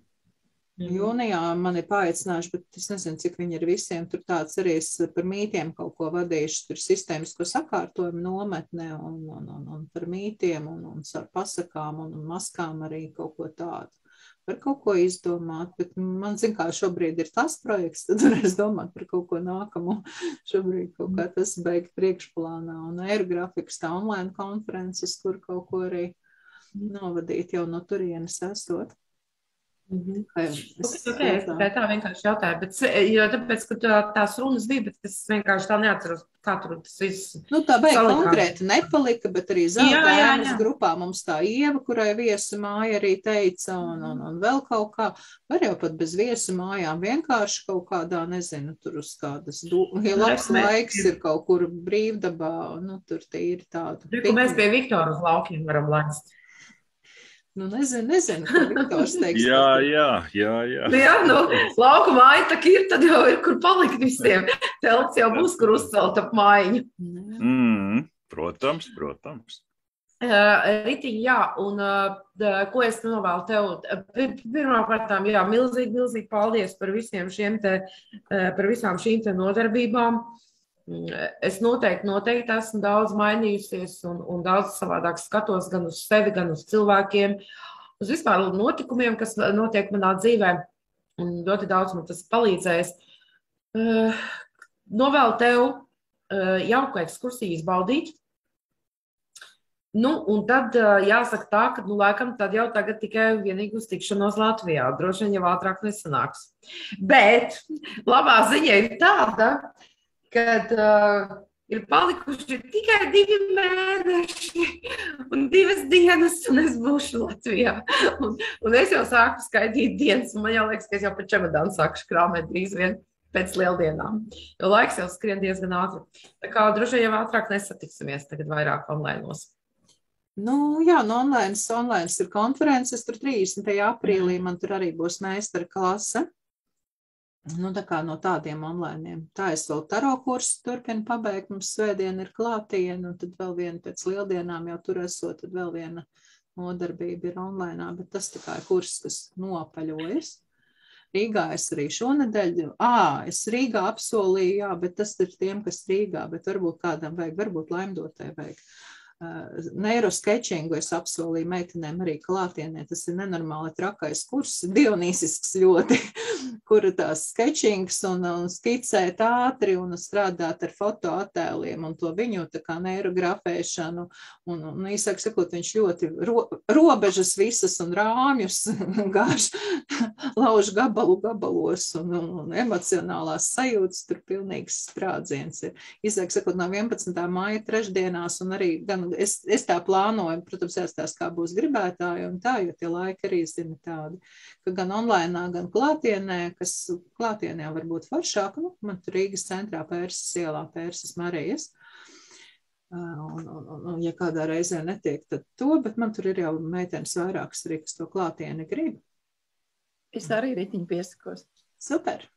Jo es tieši klausoties, sapratu, ka manī, nu, vismaz man šobrīd, pēc mana, pēc mana pavasara, kas notiek, man ļoti vajag Dionīsu kaut kādu. Nu, Es tāpēc Daļu braucu pirms uzsmelties sevi, atjaunot Dionīsu. Jā, tad es viņu nu. varētu nest, nest tālāk. Jā, tā kā es, es uz klātieni piesakos. Superīgi. Es tieši gribēju mm, turpināt Sintīs teikto, ka nu, tā kā mums arī bija ēnās, tā arī tagad ir tāda, tāda bišķi tāda skumja sajūta nedaudz šities, un, bet es ceru uz tām nākamām tikšanās reizēm, un ja ir kāda info, tad, nu, kas gan neturiet sveci zem pūri, padalieties, lai tad mēs varam kaut kur atkal satikties, un, un lūk, jau ir nākamie plāni. Nu, lūk, nav Satikties ar. Dionīsu sevi. Var uz to nobriest. Un... Jā, ļoti gaidīšu info. un Labi. burvīgu ceļojumu. Jau tagad izklausās, ka būs, ka būs iespējams bagātīgi. Ai, es tā ceru, jā. Jā. Labi, paldies. Par vieglu skumju. Viņš ir glāzi, pēc tam varēs viņš ir pudeli kaut kur mētājās. Jā, vēl, vēl smukā glāzē jāielējas glāzi, glāzi, glāzi nedabūja, jā, bet ir labs sarkanvīns man arī ko pēc šī padzert. Tad jāsaka, Rīt, paldies, un lai tev hermeišs stāv klāt ceļā pie Dionīs.